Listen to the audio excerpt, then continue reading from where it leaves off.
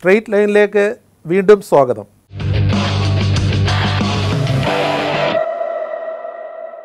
ലോകമെമ്പാടുമുള്ള മലയാളികൾക്ക് പ്രിയങ്കരനായ മലയാളത്തിന്റെ സ്നേഹമായ മലയാളികൾക്ക് സ്നേഹത്തിന്റെ മുഖമായ ശ്രീ മോഹൻലാലാണ് ഈ ഓണക്കാലത്ത് കൗമുദി ടി വിയുടെ അതിഥിയായി എത്തിയിരിക്കുന്നത്.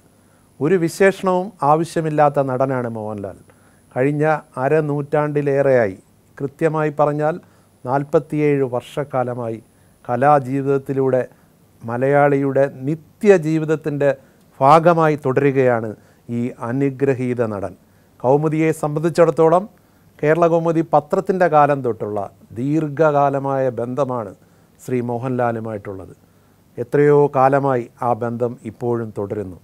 ഇന്ന് ഞങ്ങൾക്ക് ശ്രീ മോഹൻലാലിനെ അതിഥിയായി കിട്ടിയത് ഒരു സൗഭാഗ്യമായി കാണുന്നു. ഓണാശംസകളോടെ സ്വാഗതം ചെയ്യാം ശ്രീ മോഹൻലാൽ. നമസ്തേ നമസ്തേ. അപ്പോൾ ഒരു ഓണക്കാലമാണ്. എപ്പോഴും ഓണാശംസകൾ എല്ലാവർക്കും പ്രേക്ഷകർക്കും ഇവിടെ ഇരിക്കുന്ന എല്ലാവർക്കും ഓണാശംസ നമ്മുടെ മനസ്സിൽ എപ്പോഴും എന്തെല്ലാം തിരക്കുകളുണ്ടെങ്കിലും ഓണം മനസ്സിൽ നിറയും. ഏറ്റവും പ്രിയപ്പെട്ടവർ അവരുടെ ഓർമ്മകൾ നിറയും. ഈ ഓണം ഇപ്പം നമ്മൾ ഒരുപാട് ഓണം ഉണ്ടവരാണ്. എങ്കിലും എങ്ങനെയാണ് ഇപ്പോൾ ഒരു ഓണം? ഒരുപാട് വർഷങ്ങളായിട്ട് ഓണം വീട്ടിൽ അമ്മയുടെ കൂടെയാണ്. പിന്നെ അമ്മയ്ക്ക് സുഖമില്ലാതായി. എന്നാലും നമ്മൾ എങ്ങനെയെങ്കിലും ഓണത്തിന് ആ ദിവസം അവിടെ എത്താൻ ശ്രമിക്കാറുണ്ട്. അതൊരു റിച്വൽ പോലെ നടന്നു പോവുകയാണ് പക്ഷേ പണ്ട് കുറച്ചുകൂടെ സമയം കിട്ടുമായിരുന്നു. അമ്മ പൂർണ ആരോഗ്യവതിയായിരുന്നു. അപ്പം അതിനുള്ള ആൾക്കാർ വരും. എന്നാലും ഇപ്പോഴും പഴയതുപോലില്ല. പലരും നഷ്ടപ്പെട്ടു പോയി. എന്റെ ഫാദർ പോയി ബ്രദർ പോയി. അപ്പോൾ അങ്ങനെ ഓരോരുത്തർ കൊഴിഞ്ഞ് കൊഴിഞ്ഞ് പോവാണ്. അപ്പോൾ അമ്മയായിട്ട് ഓണം ആഘോഷിക്കാനാണ് എപ്പോഴും താല്പര്യം. അത് വളരെ അപൂർവമായിട്ടേ മിസ്സാകാറുള്ളൂ. ഇത്തവണയും അതിനുള്ള ശ്രമത്തിലാണ് എനിക്ക് തോന്നുന്നു അടുത്തിടെ അമ്മയുടെ പിറന്നാൾ ആവിർഭാവ് എന്ന് പറയുന്ന കുട്ടിയുടെ പാട്ടൊക്കെ കേൾക്കാനിടയായി. സർപ്രൈസ് ആയിട്ട് ഫ്ലൈറ്റ് വെച്ച് കണ്ടതാണ്. അപ്പോൾ വീട്ടിൽ വരാമെന്ന് പറഞ്ഞപ്പോൾ അവന് വീട്ടിൽ വന്നു. അമ്മയുടെ കൂടെ പാട്ട് പാടി. അമ്മ ഇത്തരം പ്രോഗ്രാമുകൾ കാണാറുണ്ട്. എന്റെ മദർ പാടുമായിരുന്നു. അതെ. പിന്നെ എപ്പോഴും അമ്മയ്ക്ക് പാടാൻ പറ്റില്ല. പക്ഷെ നമ്മൾ പാടിയാൽ കൂടെ ചുണ്ടനക്കും. എന്നാലും പാട്ടുകൾ എപ്പോഴും കേൾക്കാറുണ്ട്. പിന്നെ അവിടെ ഒരുപാട് ചെറിയ കുട്ടികളൊക്കെ വന്ന് പാട്ട് പാടാറുണ്ട്. അന്നേരം ഇങ്ങനെ കൈ താളം അടിക്കുന്നുണ്ട്. പാടാറുണ്ട്.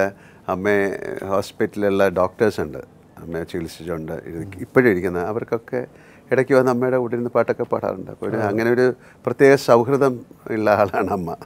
ഓണക്കാലം പണ്ട് കുട്ടിയായിട്ടിരിക്കുമ്പം എല്ലാവർക്കും നമുക്കെല്ലാം ഓണക്കോടി അച്ഛനും അമ്മയും വാങ്ങിച്ചു തരുന്നു. അത്തരം ഓർമ്മകളുമൊക്കെ മനസ്സിൽ ആ സമയത്ത് ഇത് കിട്ടുക എന്ന് പറയുന്നത് വലിയൊരു കാര്യമല്ലേ അതെ. നമ്മൾ അങ്ങനെ സ്കൂളിൽ പഠിക്കുന്ന സമയത്ത് അങ്ങനെ ഒരുപാട് ഡ്രസ്സൊക്കെ ഉള്ള ഒരാളായിരുന്നില്ല.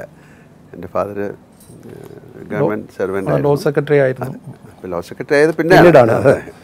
അപ്പോൾ വളരെ ലിമിറ്റഡ് ആയിട്ടുള്ള കാര്യങ്ങളേ ഉള്ളൂ ആ സമയത്ത്. അപ്പോൾ ആ ഓണത്തിന് കിട്ടുക എന്ന് പറയുന്നത് അത് പിന്നെ അത് കിട്ടിക്കഴിഞ്ഞാൽ തച്ച് കിട്ടുക എന്ന് പറയുന്നതാണ് എന്റെ ഏറ്റവും സമയം ഇരിക്കുന്നത്. അത് ഇണങ്ങുന്ന വിധം തച്ച് കിട്ടുക. ആ സമയത്തൊക്കെ ഇവിടുന്ന് നാട്ടിൽ പോകും ഞങ്ങൾ പത്തനംതിട്ട. പത്തനംതിട്ട ഇലന്തൂർ ആ സമയത്ത് പോകും. പിന്നെ അവിടെ കസിൻസ് ഒക്കെ ഉണ്ട് അവരുമായിട്ടൊക്കെ. അല്ലെ എല്ലാ സമയത്തൊക്കെ ഉണ്ട്. ഇലന്തൂരിലെ ഓർമ്മകൾ സജീവമായിട്ടുണ്ട്. ഞാനും ആ നാട്ടുകാരനാണ് അതുകൊണ്ട്. പക്ഷേ ഏതാണ്ട് ഒരു കോളേജ് കഴിഞ്ഞ ഉടനെ ഞാൻ സിനിമയിൽ വന്നുകൊണ്ട് പിന്നെ അത്തരം ബന്ധങ്ങളൊക്കെ പോയി. പിന്നെ അവിടെ പോകാൻ പറ്റാതായി. പിന്നെ അവിടുത്തെ ആ സ്ഥലങ്ങളൊക്കെ വിറ്റുപോയി. എന്നാലും മനസ്സിലെ ഓർമ്മ കുട്ടിക്കാലത്തെ ഓർമ്മകൾ നമുക്ക് ഇടയ്ക്ക് കണ്ണടച്ചാൽ കിട്ടും.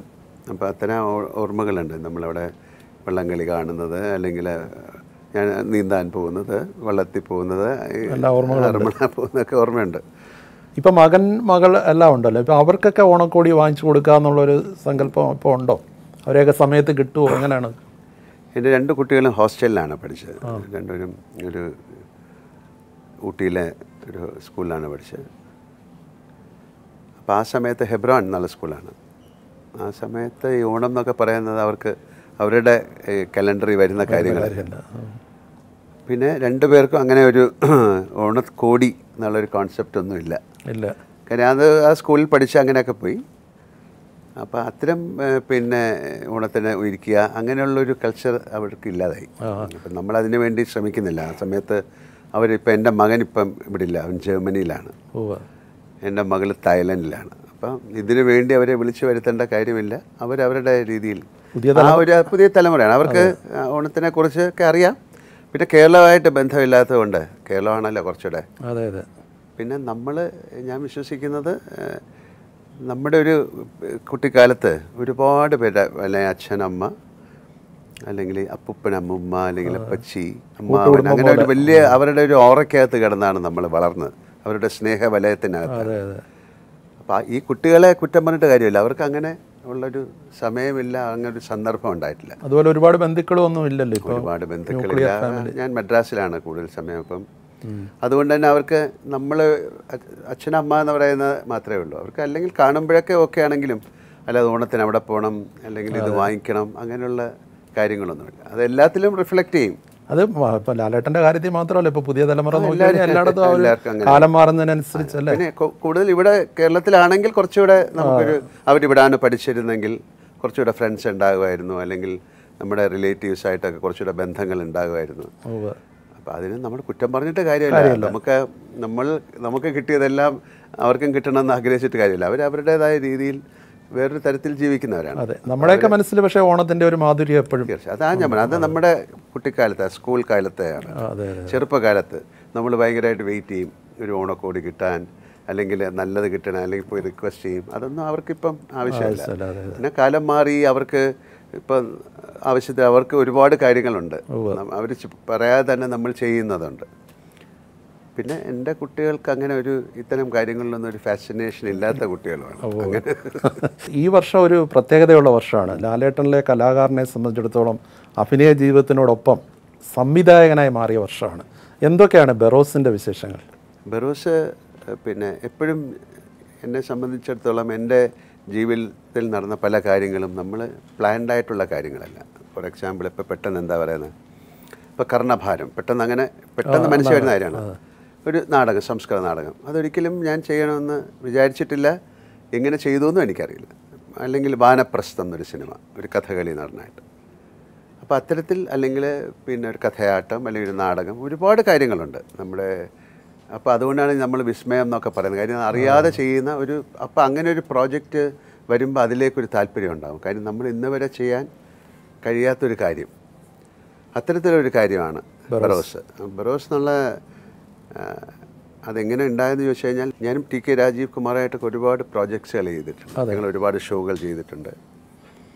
അപ്പം ആരും ചെയ്യാത്ത അല്ലെങ്കിൽ ആരും ഇന്ത്യയിൽ പുറത്ത് ചെയ്തിട്ടുണ്ടോ എന്ന് പോലും എനിക്കറിയില്ല അങ്ങനെയല്ല. നമുക്കൊരു ത്രീ ഡി പ്ലേ അങ്ങനെ ആരും ചെയ്തിട്ടില്ല. അതായത് കണ്ണാടി വെച്ചിട്ട് കാണണം. അത് ശരി. അത് അത്ര എളുപ്പമല്ല.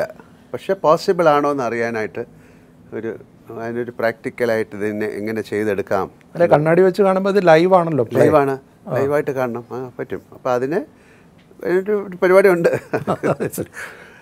അപ്പോൾ അത് ഇങ്ങനെ ചർച്ച ചെയ്ത് വന്നപ്പോൾ ആദ്യത്തെ ത്രീ ഡി ഫിലിം എടുത്തിരിക്കുന്നത് നവോദയാണ്. അതിൽ രാജീവ് കുമാർ വർക്ക് ചെയ്തിട്ടുണ്ട്. അപ്പോൾ ജിജുവായിട്ട് സംസാരിക്കാമെന്ന് പറഞ്ഞ് ഞങ്ങൾ അവിടെ പോവുകയും അതിന്റെ ഒരു പോസിബിലിറ്റി കണ്ടുപിടിക്കുകയും ചെയ്തു. അങ്ങനെ ചെയ്യാൻ പറ്റും. പക്ഷേ നമ്മൾ അതിന്റെ ഒരു കോസ്റ്റ് ഫാക്ടർ ഭയങ്കരമായിട്ട് വരും. ഒരു സ്ഥലത്ത് നിന്ന് മാറ്റി വേറെ സ്ഥലത്തേക്ക് പോകണം അങ്ങനെ അപ്പം അങ്ങനെ നോക്കുമ്പോൾ ഒരു ഭയങ്കരമായ ഹ്യൂജ് ഇൻവെസ്റ്റ്മെന്റ് അതിലേക്ക് വരുന്നതുകൊണ്ട് അത് വേണ്ടാന്ന് വെച്ചു. നമുക്കിനി അതിനെ എങ്ങനെ ചെയ്യാമെന്നുള്ള കാര്യങ്ങളൊക്കെ പറഞ്ഞുകൊണ്ടിരുന്നപ്പോഴാണ് ജിജോ പറയുന്നത്. അദ്ദേഹത്തിന്റെ ഒരു സ്റ്റോറി ലൈനുണ്ട് ഒരു സ്ക്രിപ്റ്റുണ്ട് അതൊരു ത്രീ ഡി ഫിലിമൊക്കെ ആക്കി ചെയ്യാവുന്നതാണ്. കാര്യം അപ്പം അദ്ദേഹമാണ് ആദ്യത്തെ സിനിമ ചെയ്തത്. അത് കഴിഞ്ഞിട്ട് ഒന്നോ രണ്ടോ സിനിമ ട്രൈ ചെയ്തു. അത്രയും വലിയ സക്സസ്ഫുൾ ആയിട്ടില്ല. പിന്നെ ഏതാണ്ട് നാൽപ്പത് വർഷം കഴിഞ്ഞിരിക്കുന്നു. അതുപോലെ ലാൽ സാറിനെ ആദ്യം ഇന്റർവ്യൂ ചെയ്തവരിൽ ഒരാൾ കാണുന്നു അല്ലേ? മഞ്ഞിൽ വിരിഞ്ഞ അല്ല കുട്ടിച്ചാത്തിന് ഇറങ്ങിയിട്ട് ഒരുപാട് വർഷം കഴിഞ്ഞിരിക്കുന്നു. അപ്പോൾ നമ്മൾ അതിനെക്കുറിച്ച് സംസാരിക്കുകയും അതൊരു ഒരുപാട് ഫോറിനേഴ്സൊക്കെ ആക്ട് ചെയ്യേണ്ട ഒരു സിനിമയാണ്. അങ്ങനെയാണെങ്കിൽ ആ സിനിമ നമുക്ക് ചെയ്യാമെന്നൊരു ധാരണയിലേക്ക് വന്നു. അപ്പം അതിന്റെ കാസ്റ്റിംഗ് ഒക്കെ എല്ലാം പുറത്തുനിന്നല്ല. കൂടുതൽ ആൾ ഇപ്പം അതിൽ അഭിനയിച്ചിരിക്കുന്ന സ്പെയിനിൽ നിന്നുള്ള ആക്ടേഴ്സ് ഉണ്ട് പോർച്ചുഗലുണ്ട് ഗ്രീസിൽ നിന്നുള്ള ആക്ടേഴ്സ് ഉണ്ട്. സാങ്കേതിക മേഖലയിലും വിദേശത്തു നിന്നുള്ളവരുണ്ട്? അഭിനയിച്ചിരിക്കുന്ന എല്ലാം അഭിനയിച്ചിരിക്കുന്നത് ഇന്ത്യൻസ് ഇല്ല ഞാനേ ഉള്ളൂ. ഞാനും പിന്നെ വേറെ രണ്ട് പേരേ ഉള്ളൂ രണ്ട് മൂന്ന് ഈ രണ്ടുപേരിൽ സസ്പെൻസ് ആയിട്ട് പ്രണവമുണ്ടോ? അല്ല അത് ആ സിനിമ കാണുമ്പോൾ അറിയാം. ഉണ്ടെന്ന് പറഞ്ഞു കഴിഞ്ഞാൽ അതിന്റെ രസം പോയില്ല? ഇല്ലെന്ന് പറഞ്ഞാലും രസം പോകും അതെ. എല്ലാം ഈ ആക്ടേഴ്സ് ഉൾപ്പെടെ ഉള്ളവരെല്ലാം വിറ- പുറത്തുനിന്നുള്ളവരാണ്. പുറത്തുനിന്നുള്ളവരാണ്. അത് ഡയറക്റ്റ് ചെയ്യാന്നുള്ളതാണല്ലോ അതിൽ ഏറ്റവും വലിയ ഉത്തരവാദിത്വം അപ്പോൾ അങ്ങനെ ആയി കഴിഞ്ഞു. അപ്പോൾ ഇത് ആര് പിന്നെ അതിന്റെ കഥയൊക്കെ ആയിട്ട് ഇത് ആര് ചെയ്യുന്നു പറഞ്ഞപ്പം ജിജോ പറഞ്ഞു ഈ സിനിമ ഞാൻ ചെയ്യുന്നില്ല. ഇത് കഴിഞ്ഞിട്ടുള്ള കാര്യം ഈ സിനിമയെക്കാട്ടിലും ഒരു വലിയ സിനിമയാണ് അദ്ദേഹത്തിന് വേണ്ടത്. അപ്പോൾ ഇത് വേറെ ആര് ചെയ്യും? ഞങ്ങളാണത് ഞാൻ ഞങ്ങളുടെ പ്രൊഡക്ഷനിൽ ചെയ്യാമെന്ന് പറഞ്ഞു. അപ്പോൾ എനിക്ക് ആലോചിച്ചപ്പം ഞാൻ സിനിമയിൽ വന്ന് മഞ്ഞിൽ വിരിഞ്ഞ പൂക്കളിലൂടെയാണ് മറ്റേ സിനിമ ഉണ്ടെങ്കിലും തിരനോട്ടം ഉണ്ടെങ്കിൽ തിരനോട്ടം ഉണ്ടെങ്കിൽ ഇതിൽ കൂടെയാണ് വന്നത്. അപ്പോൾ അവരുടെ തന്നെ ഒരു പ്രോജക്റ്റ് വീണ്ടും എന്നിലേക്ക് വരുന്നു. നമ്മുടെ ഒരു ഒരു ഒരു ഇതൊരു വലിയ ചാൻസാണ് ഒരു അപ്പം അങ്ങനെ ആയി അവസാനം ഞാൻ പറഞ്ഞെങ്കിലാണെങ്കിൽ ഞാൻ ചെയ്യാം. അല്ലാതെ ഞാനൊരു സിനിമ ഡയറക്റ്റ് ചെയ്യാനായിട്ട് അതിലൊരുപാട് അതിൽ ഒരുപാട് പ്രത്യേകതകളുള്ള സിനിമ ആയതുകൊണ്ട് അതൊരു ത്രീ ഡി ഫിലിമാണ് മുഴുവൻ പുറത്തുനിന്നുള്ള ആക്ടേഴ്സാണ് വളരെ ചിൽഡ്രൻ ഫ്രണ്ട്ലി ആയിട്ടുള്ള ഫിലിമാണ് കുട്ടികളുടെ ചിത്രം എന്ന് പറയാൻ പറ്റുമോ അങ്ങനെ പറയാൻ പറ്റില്ല. അങ്ങനെ ചിൽഡ്രൻ ഫ്രണ്ട്ലിയാണ് നമ്മളിലുള്ള കുട്ടികൾക്കും അത് ഇഷ്ടമാവും മുതിർന്നവരിലെ കുട്ടികൾക്ക് മുതിർന്ന കുട്ടികൾക്കും അത് ഇഷ്ടമാവും അപ്പോൾ അങ്ങനെ ആയപ്പോൾ പിന്നെ ആ സിനിമ നമ്മൾ തുടങ്ങി. തുടങ്ങി കുറച്ച് നാൾ കഴിഞ്ഞപ്പോഴത്തേക്ക് ജിജോ ആയിരുന്നു അതിന്റെ മേൽനോട്ടം. പിന്നെ കുറച്ച് നാൾ കഴിഞ്ഞപ്പോഴത്തേക്ക് ആ കഥയിൽ കുറച്ച് മാറ്റങ്ങൾ വരുത്താൻ. അപ്പോൾ അദ്ദേഹം അത് ചെയ്തോളൂ. എന്ന് പറഞ്ഞിട്ട് പുള്ളി പറഞ്ഞു എന്നാൽ ഞാൻ അതിൽ നിന്ന് മാറി നിൽക്കാം. കാര്യം അത് അദ്ദേഹത്തിന്റെ കഥയാണെങ്കിലും അതിൽ മാറ്റങ്ങൾ വരുത്താനുള്ള സ്വാതന്ത്ര്യം തന്നിട്ട് അദ്ദേഹം അത് മാറി ഇപ്പോൾ അപ്പോൾ ആ സിനിമ കഴിഞ്ഞു അപ്പോഴത്തേക്ക് ഞങ്ങൾക്ക് കോവിഡ് വന്നു. ഞങ്ങളുടെ അതിലെ മെയിൻ ഒരു ചെറിയ കുട്ടി അവർ യു എസ് എന്നുള്ള കുട്ടിയായിരുന്നു. ഊട്ട ഊറ്റ എന്ന് പറയുന്ന സ്ഥലത്ത്. അവർ ഏതാണ്ട് ഒരു ഒരു വർഷം വന്നിട്ട് ഈ ഇതിലെ മുഴുവൻ ഡയലോഗ്സുകൾ കാണാതെ മെമ്മറൈസ് ചെയ്തു പഠിച്ചു എല്ലാം റെഡി ആയപ്പോഴത്തേക്ക് അവർക്ക് തിരിച്ചു പോകേണ്ടി വന്നു. അത് ശരി. അവർ വീണ്ടും ഒരിക്കൽ കൂടെ വന്നു. പക്ഷേ പിന്നെയും പോയി. അങ്ങനെ രണ്ട് പ്രാവശ്യം യു എസ് നിന്ന് വന്നിട്ട് പിന്നെ അവർക്ക് വിളിച്ചപ്പോൾ അവർക്ക് അത് ബുദ്ധിമുട്ടായി. അവരുടെ സ്കൂളുകൾ സ്കൂളിലെ പഠിത്തം അതൊക്കെ മാറി. പിന്നെ അവർ ചില ആ സമയത്ത് ചില ആൾക്കാർ ഈ വാക്സിനേഷന് എതിരായിരുന്നു. അങ്ങനെ ഒരു കമ്മ്യൂണിറ്റി അവിടെ ഉണ്ട്. യു എസിലുണ്ട്. അപ്പോൾ അവർ അതിൽപ്പെട്ട ആൾക്കാരാണ്. അപ്പോൾ അവർക്ക് ട്രാവൽ ചെയ്യാൻ പറ്റില്ല. ഇതിന്റെ സർട്ടിഫിക്കറ്റ് ഒക്കെ കാണിക്കണം. അപ്പോൾ പിന്നെ വേറൊരു കുട്ടിയെ കൊണ്ടുവന്നു. പകരം ആളിനെ കൊണ്ടുവരുന്നുണ്ട്. ഒരു ഹാഫ് ബ്രിട്ടീഷ് ഗേളാണ് ശരി. അപ്പോൾ അങ്ങനെയായി സിനിമ അത് തീർന്നു. അപ്പോൾ ഇന്റർനാഷണൽ അതൊരു ഇന്റർനാഷണൽ സിനിമയാണ് അന്നേരം. അങ്ങനെ ആകണം. കാര്യം അതിന്റെ ഒരുപാട് പ്രത്യേക അപ്പോൾ ഞാനിങ്ങനെ ഒരു ഒരു കുട്ടിയുടെയും ഒരു ഒരു ഗോസ്റ്റിന്റെയും കഥയാണ്. അപ്പോൾ ആ കുട്ടികളുടെ ഒരു സിനിമയിൽ അതിന്റെ ഒരു മ്യൂസിക്കിന് വളരെ ഇമ്പോർട്ടൻസ് ആണ്. അപ്പോൾ നോക്കിയപ്പോഴാണ് ലിഡിയൻ നാഗേശ്വരം എന്ന് പറയുന്നത് അന്ന് അതിന് ഒരു ട്വൽവ് ഇയേഴ്സേ ഉള്ളൂ ആ കുട്ടി അയാൾക്ക്. പ്രോഡിജിയാണ് പ്രോഡിജിയാണ് അപ്പം ഞാൻ അയാളെ കിട്ടുമെന്ന് നോക്കി അപ്പോൾ അവനെ അയാളെ കിട്ടി. അപ്പോൾ ആ ഒരു പത്ത് പതിനാറ് വയസ്സായി മൂന്നാൽ വർഷം കഴിഞ്ഞു. ബാക്കി അത് അയാൾ മ്യൂസിക് കമ്പോസ് ചെയ്തു. പിന്നെ അയാൾക്ക് ആ നമ്മൾ അതിന്റെ എല്ലാ ഫ്രീഡം കൊടുത്തിട്ട് ഞങ്ങൾ അതിന്റെ ആ മ്യൂസിക് ചെയ്തിരിക്കുന്നത് ഗ്രീസിലാണ്. ഓ ശരി. മെച്ചഡോണ എന്നുള്ള സ്ഥലത്താണ്. ഓ ഓ. അത് ആ ആ സോങ്ങുകൾ മിക്സ് ചെയ്തിരിക്കുന്ന യു കെയിലാണ് അതിന്റെ ബാക്ക്ഗ്രൗണ്ട് സ്കോറിങ് ചെയ്തിരിക്കുന്നത് മാക് ക്ലിയൻ എന്ന് പറയുന്ന ഒരു ലോസ് ആഞ്ചലസിലുള്ള വളരെ പ്രസിദ്ധനായ മ്യൂസിക് കമ്പോസറാണ്. അത് അവിടെയും ബുഡാപെസ്റ്റ് എന്നൊക്കെയുള്ള സ്ഥലത്താണ് ചെയ്തിരിക്കുന്നത്. ആദ്യത്തെ ഈ സംവിധാന സംരംഭം വളരെ വൈവിധ്യമാർന്ന ഒരുപാട് സവിശേഷതകളുള്ള ഒരു അതിന്റെ ഇപ്പം ഞാൻ ഇപ്പം ഈ സമയത്ത് നമ്മൾ സംസാരിച്ചുകൊണ്ടിരിക്കുന്ന സമയത്ത് അതിന്റെ ഫൈനൽ മിക്സ് നടക്കുകയാണ്. അവരും യു എസ് എന്നുള്ള ആൾക്കാരാണ്. ഇവരൊക്കെ ഒരുപാട് അക്കാഡമി അവാർഡുകൾക്കൊക്കെ നോമിനേറ്റ് ചെയ്ത ആൾക്കാരാണ്. അത് ശരി. അത് ഷൂട്ട് ചെയ്തിരിക്കുന്ന അതിന്റെ സന്തോഷ് ശിവനാണ്. അദ്ദേഹം ഇപ്പോൾ ലോകത്തിലെ ഏറ്റവും വലിയ ക്യാമറമാൻമാരുടെ പട്ടികയിലേക്ക് പി ആർ ആഞ്ജനിയോ പുരസ്കാരം കാനല ആദരിക്കപ്പെട്ടു. എനിക്കൊന്ന് സന്തോഷ് ശിവൻ ലാലേട്ടന്റെ ജീവിതത്തിലെ പല സിനിമകൾ ഏറ്റവും ഒരു വഴിത്തിരിവുകളായ പല സിനിമകളിൽ ഇപ്പൊ കാലാപാനിയാണെങ്കിലും ഇരുവറാണെങ്കിലും ആണെങ്കിലും എല്ലാം ആണെങ്കിലും? അതുപോലെ തന്നെ ഇപ്പൊ യോദ്ധയും അതുപോലെ ഒരു എന്റർടൈനർ അതടക്കം. അടക്കം അദ്ദേഹത്തിന് എല്ലാ ഈ സിനിമകളൊക്കെ അദ്ദേഹത്തിന് നാഷണൽ അവാർഡ് ഫിറ്റ് ചെയ്ത. നമ്മളെ അപ്പോൾ ഈ സന്തോഷ് ശിവനും അതൊരു പുതിയ അനുഭവമാണ്. ത്രീ ഡി സിനിമ ചെയ്യാൻ ഭയങ്കര ചെയ്തിട്ടില്ല. ത്രീ ഡി എന്ന് പറഞ്ഞാൽ നമ്മൾ സാധാരണ ത്രീ ഡി ഫിലിംസ് എന്ന് പറഞ്ഞ് കാണുന്നതെല്ലാം ടു ഡി. നമ്മൾ സാധാരണ അതിനെ ത്രീ ഡി ആക്കുന്നതാണ്. ഇത് നമ്മൾ ത്രീ ഡി ക്യാമറ എന്ന് പറഞ്ഞാൽ രണ്ട് ക്യാമറയാണ്. ഒരു ക്യാമറ ഇങ്ങനെ ഒരു ക്യാമറ മുകളിൽ വെച്ചാൽ ഷൂട്ടിങ് നമ്മൾ രണ്ട് കണ്ണുകൾ പോലെയാണ്.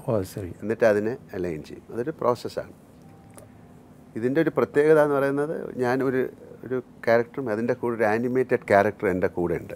ഓ അതങ്ങനെ ഇന്ത്യൻ സിനിമയിൽ വന്നിട്ടില്ല.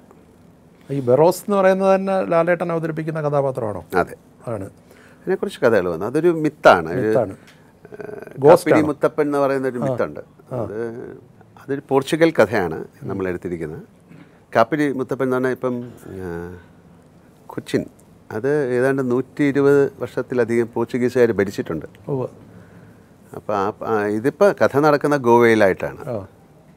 അപ്പോൾ അതിലെ ഒരു കോൺസെപ്റ്റ് എന്ന് പറയുന്നത് അവർ ലിസ്ബൺ എന്ന് പറയുന്നത് ഗോൾഡൻ ഗോവ എന്ന് പറയുന്നത് ലിസ്ബണേക്കാട്ടിലും അവർക്ക് ഇഷ്ടമുള്ള സ്ഥലമായിരുന്നു ഗോവ. ശരി. അപ്പോൾ അവർ പറയുന്നത് അവർ പ്രത്യേക സമയത്തൊരു വിൻഡുണ്ട്. അപ്പോൾ അവിടെ ഷിപ്പ് ഇട്ടാൽ ഇവിടെ വന്ന് കറക്റ്റായിട്ട് നിൽക്കും അങ്ങനെ ആ സമയത്ത് അവർ ഇവിടെ വന്ന് സെറ്റിലാകുകയും അവർ അനധികൃതമായിട്ട് സമ്പാദിച്ച സ്വത്തുക്കളും അങ്ങനെ വേണമെങ്കിലും പറയാം അല്ലാതെ ലൂട്ട് ചെയ്യുകയും ഒക്കെ ചെയ്തിട്ടുണ്ടാകാം. അങ്ങനത്തെ ഒരുപാട് പിന്നെ ട്രഷർ ഒരു സമയമായപ്പോൾ മറാഠാസിന്റെ ഒക്കെ അറ്റാക്ക് വന്നു. അവർക്ക് ഇവിടുന്ന് വിട്ടു പോകേണ്ടി വന്നു. അപ്പോൾ ഗോവയുടെ അടുത്ത് കിടക്കാണോ മഹാരാഷ്ട്രയൊക്കെ ഗോവയുടെ അതെ. അടുത്ത് കിടക്കുന്ന ഏരിയയാണ്. ആ സമയത്ത് ഇവർക്ക് ഇതെല്ലാം ട്രഷർ എടുത്തുകൊണ്ട് പോകാൻ പറ്റാത്തതുകൊണ്ട് അവരൊരു അവരുടെ ഒരു ആഫ്രിക്കൻ ഉഡു ഒരു മന്ത്രവാദം ചെയ്തിട്ട് അവർ ചെയ്യുന്നത് അവിടെ നിന്ന് പിടിച്ചുകൊണ്ട് വരുന്ന അടിമകളിലെ ആരെങ്കിലും ഒരാളെ ആ ഒരു പ്രത്യേക ഒരു ഒരു മാച്ച് ഒരു മന്ത്രവാദത്തിലൂടെ അയാളെ കൊന്നിട്ട് വാളിൽ പേസ്റ്റ് ചെയ്യും. പണ്ട് കാലങ്ങളിലൂടെ നമ്മൾ ഈ കുട്ടനാടൊക്കെ ഇത് ചെയ്യുമ്പോൾ ചെയ്യുന്നതൊക്കെ പറഞ്ഞ കഥകളൊക്കെ ഉണ്ട്. അറിയാതെ പറ്റുന്നതായിരിക്കും. അയാളെ പേസ്റ്റ് ചെയ്ത് കഴിഞ്ഞാൽ അയാൾ ഒരു ഗോസ്റ്റായിട്ട് മാറിയിട്ട് പിന്നെ അയാളാണ് ഈ ഇത് പ്രൊട്ടക്റ്റ് ചെയ്യുന്നത്. ഇവർ തിരിച്ചു വരുന്നിടം വരെ.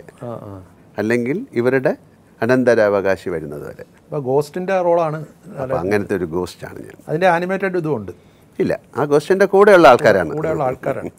ഇപ്പോൾ ഈ അപ്പോൾ അതും ആ ഗോസ്റ്റും പിന്നെ ഇതിന്റെ ഒരു തലമുറയിൽപ്പെട്ട ഒരു കുട്ടിയുമായിട്ടുള്ള കഥയാണ്. കഥയാണ്.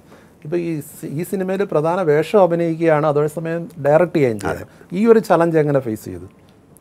അതിന്റെ ഒരു അഡ്വാന്റേജും ഡിസഡ്വാന്റേജും നമ്മുടെ കൂടെ വർക്ക് ചെയ്യുന്ന എല്ലാവരും ഇപ്പോൾ സന്തോഷമായാലും ഒക്കെ ഒരുപാട് വർഷത്തെ പരിചയവും സ്നേഹവും ഒക്കെ ഉള്ളതുകൊണ്ട് രാജീവ് ആയാലും ഞാൻ രാജീവിനെ വിളിച്ചു. അപ്പോൾ ഇതിൽ ചെയ്യേണ്ട ഒരുപാട് കാര്യങ്ങൾ എന്ന് പറഞ്ഞാൽ നമുക്ക് കണ്ണിന് സ്ട്രെയിൻ ഇല്ലാതെ ഷൂട്ട് ചെയ്യണം. ത്രീ ഡി അല്ലേ? ഇത് കണ്ണാടി വെച്ച് തലവേദന വന്നു കഴിഞ്ഞാൽ കുഴപ്പമാവും. അപ്പോൾ അതിന് ഫോക്കൽ ലെങ്തുകളുണ്ട് അതിന് ഒരു അതൊക്കെ ആ ടേംസുകൾ പിന്നെ ഷോട്ട് എടുക്കുന്ന രീതിയിൽ വളരെ പ്രത്യേകതകളുണ്ട്. നമുക്ക് മ്യൂസിക്കും കൂടെ കമ്പോസ് ചെയ്ത് ചെയ്യണം. പിന്നെ ഞാൻ പിന്നെ എനിക്ക് തോന്നുന്നൊരു ചിൽഡ്രൻ ഫ്രണ്ട്ലി എന്ന് പറഞ്ഞാൽ അതിൽ ഭയങ്കരമായ ഒരു ബ്ലഡ് ഷെഡോ അല്ലെങ്കിൽ ഭയങ്കര നമുക്ക് ഒരു സിനിമ കാണാൻ ചില സിനിമകളൊക്കെ കാണാൻ പറ്റില്ല എന്ന് പറയുന്ന രീതിയിലുള്ള സിനിമകളുണ്ട് വയലൻസും കാര്യങ്ങളൊക്കെ. അപ്പോൾ അത്തരത്തിലൊന്നും അല്ലാതെ നമ്മൾ ആദ്യം ഒരു ചിത്രം സംവിധാനം ചെയ്യുമ്പോൾ ഇതെല്ലാം കൂടെ ഒത്തു കിട്ടുക എന്ന് പറയുന്നതാണ്. പിന്നെ ഇതൊരു ഇന്ത്യൻ അല്ലെങ്കിൽ സിനിമയായിട്ട് കാണണ്ട.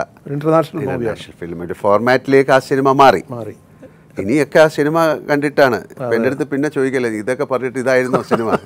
അല്ല ലാംഗ്വേജ് എത്ര വിവിധ ഭാഷകളിൽ ഇറങ്ങും. ഇന്ത്യയിൽ. നമുക്ക് ഇന്ത്യൻ ലാംഗ്വേജ് മുഴുവൻ ചെയ്യാം. ചെയ്യാം. ഈ സിനിമ ലോകത്തിൽ ഏത് ലാംഗ്വേജിലും നമുക്ക് ഡബ് ചെയ്യാം. ഡബ് ചെയ്യാം.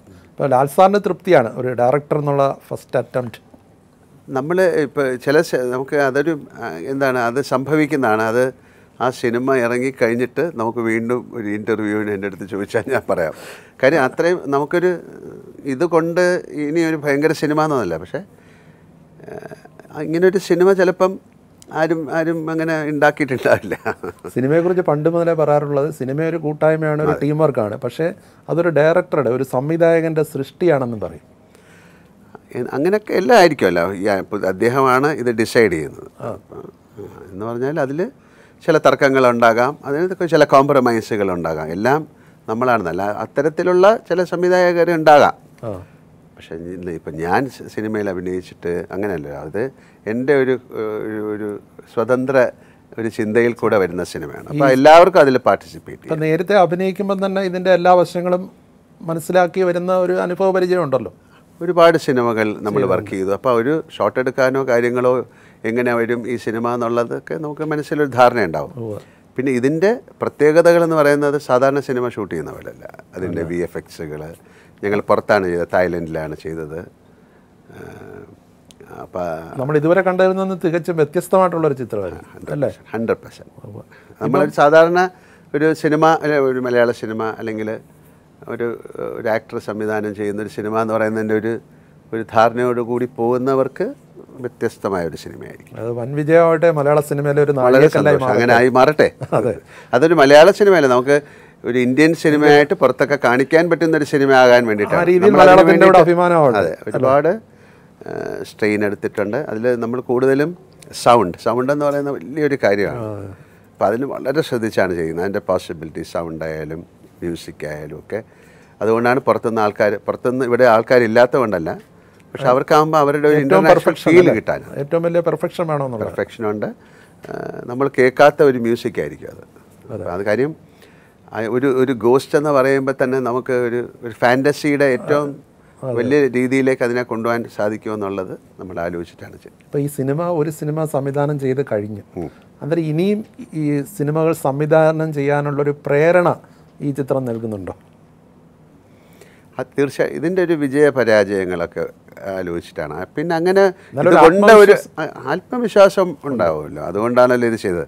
ഈ ഒരു സിനിമ ചെയ്താൽ ഭയങ്കര ആത്മവിശ്വാസം ഉണ്ടാവും. കാര്യം നമുക്ക് ഇതിലും നല്ല സിനിമകൾ ചെയ്യാം കാര്യം അത്രയും നമ്മൾ ഒരുപാട് ആ സിനിമയ്ക്ക് വേണ്ടി കഷ്ടപ്പെട്ടു. ഒരുപാട് കാര്യങ്ങൾ. ഒരു ഇത്രയും മാസം ഒരു മൂന്നാൽ വർഷം അതിലേക്ക് പോയി. പലവിധ നമുക്ക് കോവിഡ് എന്നൊക്കെ ഉള്ളത് ഇത് നേച്ചർ ആയിട്ടുള്ള കണക്റ്റഡ് ആയിട്ടുള്ള അല്ലെങ്കിൽ അതല്ലാതെ ഒരുപാട് നമുക്ക് വലിയ വലിയൊരു എഫേർട്ട് ഉണ്ട്. ഇതിന്റെ വി എഫ് എക്സ് ചെയ്യുന്നതായാലും അതിന് ഒരുപാട് പേര് ചില കമ്പനികളൊക്കെ മാറിപ്പോയി. നമ്മൾ കൊടുത്തിരുന്ന അല്ലെങ്കിൽ ഇത് ചെയ്യുന്ന കമ്പനികളൊക്കെ സ്പ്ലിറ്റ് ആയിപ്പോയി അങ്ങനെയൊക്കെ പറ്റി. അപ്പോൾ അതെല്ലാം ആ- നേരിട്ടിട്ടാണ് ഒരുപാട് ഞാൻ നേരത്തെ ചോദിച്ച ചോദ്യത്തിന് അനുബന്ധമായിട്ട് അതായത് ഇനിയൊരു ഒരു സിനിമ സംവിധാനം ചെയ്യാൻ പ്രേരണ ഉണ്ടാകുമോ എന്നുള്ള ചോദ്യത്തിന്റെ ഭാഗമായിട്ടാണ്. ഇതിൽ നമുക്ക് അങ്ങനെയാണല്ലോ ഇതിലും വലിയൊരു സിനിമ ഇനിയും ചെയ്യാൻ പറ്റില്ല. അല്ല എന്നാലും അല്ല അതിനൊരു പോസിബിലിറ്റി ഉണ്ടാവും തീർച്ചയായിട്ടും. അന്നേരം മമ്മൂട്ടിയെ നായകനാക്കി ഒരു സിനിമ സംവിധാനം ചെയ്യണം താല്പര്യമുണ്ടോ? അല്ല അങ്ങനെ സംഭവിക്കട്ടെ. കാര്യം അങ്ങ് ഇത് ഒരാളെ ആക്കി എന്നുള്ളതല്ല. ഇപ്പം ഈ അതിന്റെ ഒരു സബ്ജക്റ്റ് വളരെ സ്ട്രെയിഞ്ചായിട്ട് അങ്ങനെ ഒരു താല്പര്യമുള്ളതുകൊണ്ടാണ് സിനിമ ചെയ്തത് അപ്പോൾ എന്റെ അടുത്ത് ഇപ്പോൾ ഏതോ ഇന്റർവ്യൂവിൽ എനിക്ക് വന്ന സന്തോഷം എന്നാണ് ചോദിച്ചത് നിങ്ങൾക്ക് സെ- ഞാൻ പറഞ്ഞത് അത് എന്റെ ജോലിയേ അല്ല. സംവിധാനം എന്ന് പറയുന്നത് അത്ര എളുപ്പമുള്ള കാര്യമല്ല. അതിന് വേറെ ആൾക്കാരുണ്ട്. പക്ഷേ ഇത് വളരെ വ്യത്യസ്തമായിട്ട് ഒരു കാര്യം.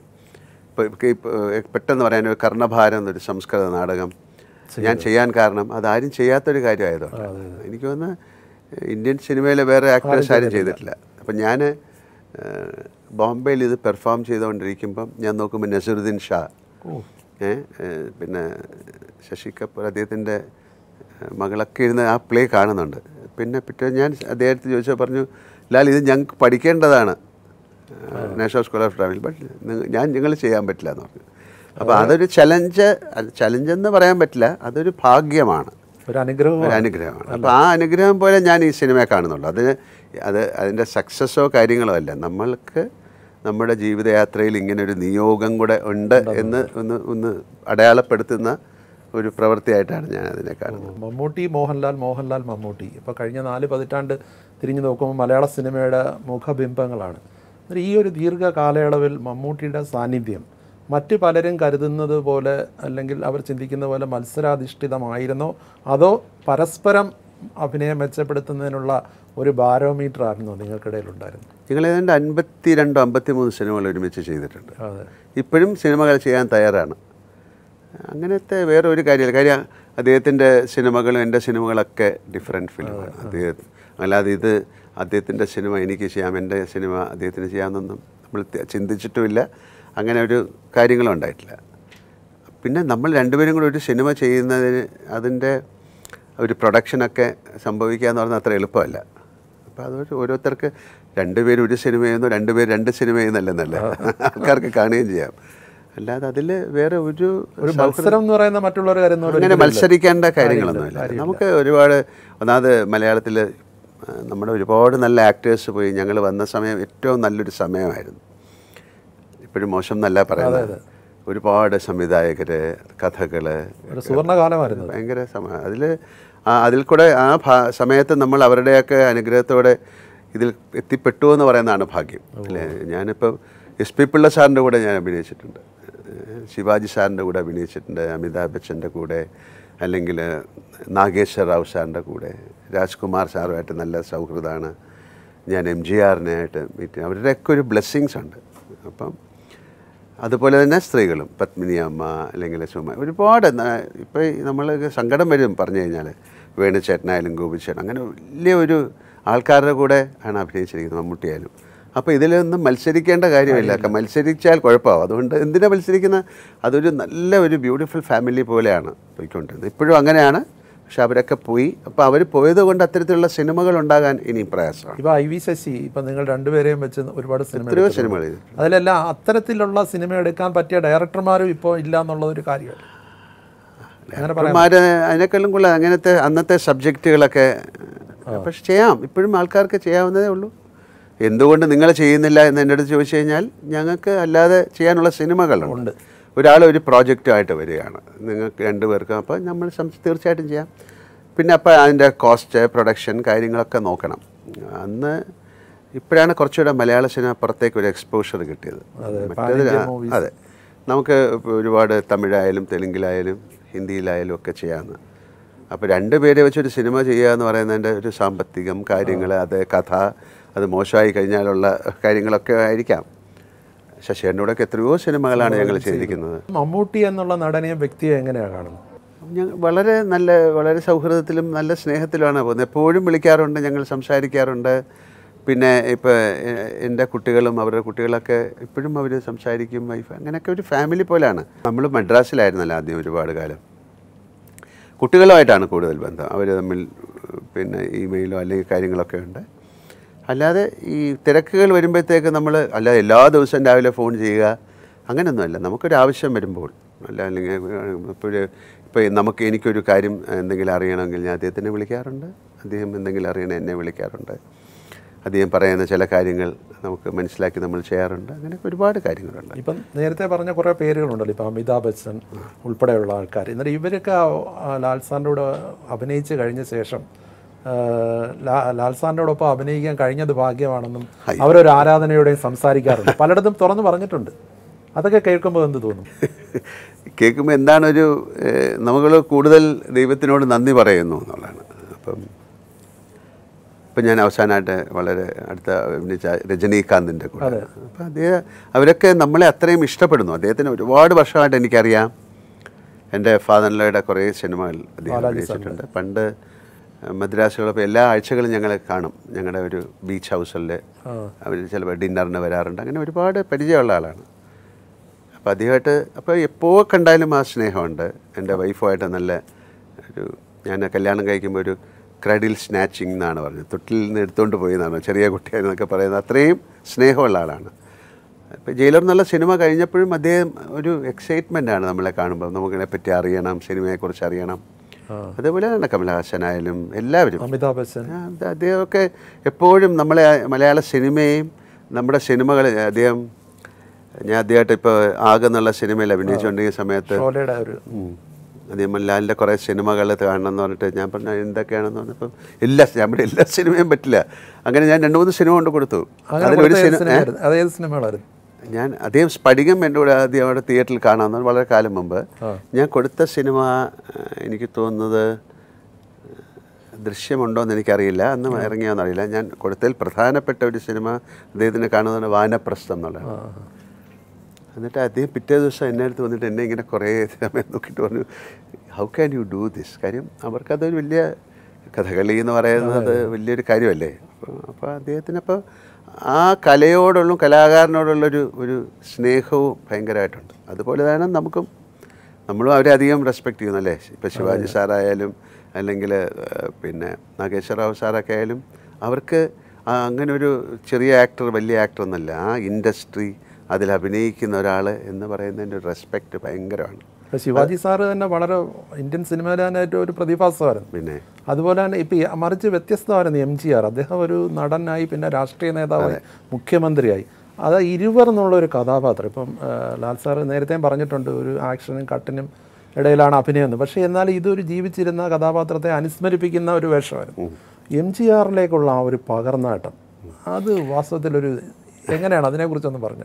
അല്ല നമ്മൾ സിനിമ തുടങ്ങി അത് കഴിയുന്നിടം വരെ എം ജി ആർ അല്ലെങ്കിൽ ഇത് കരുണാനിധി അല്ലെങ്കിൽ ജയലളിത എന്നൊന്നും നമ്മൾ പറഞ്ഞിട്ടില്ല. രണ്ട് ഫ്രണ്ട്സിന്റെ കഥയായിട്ടാണ്.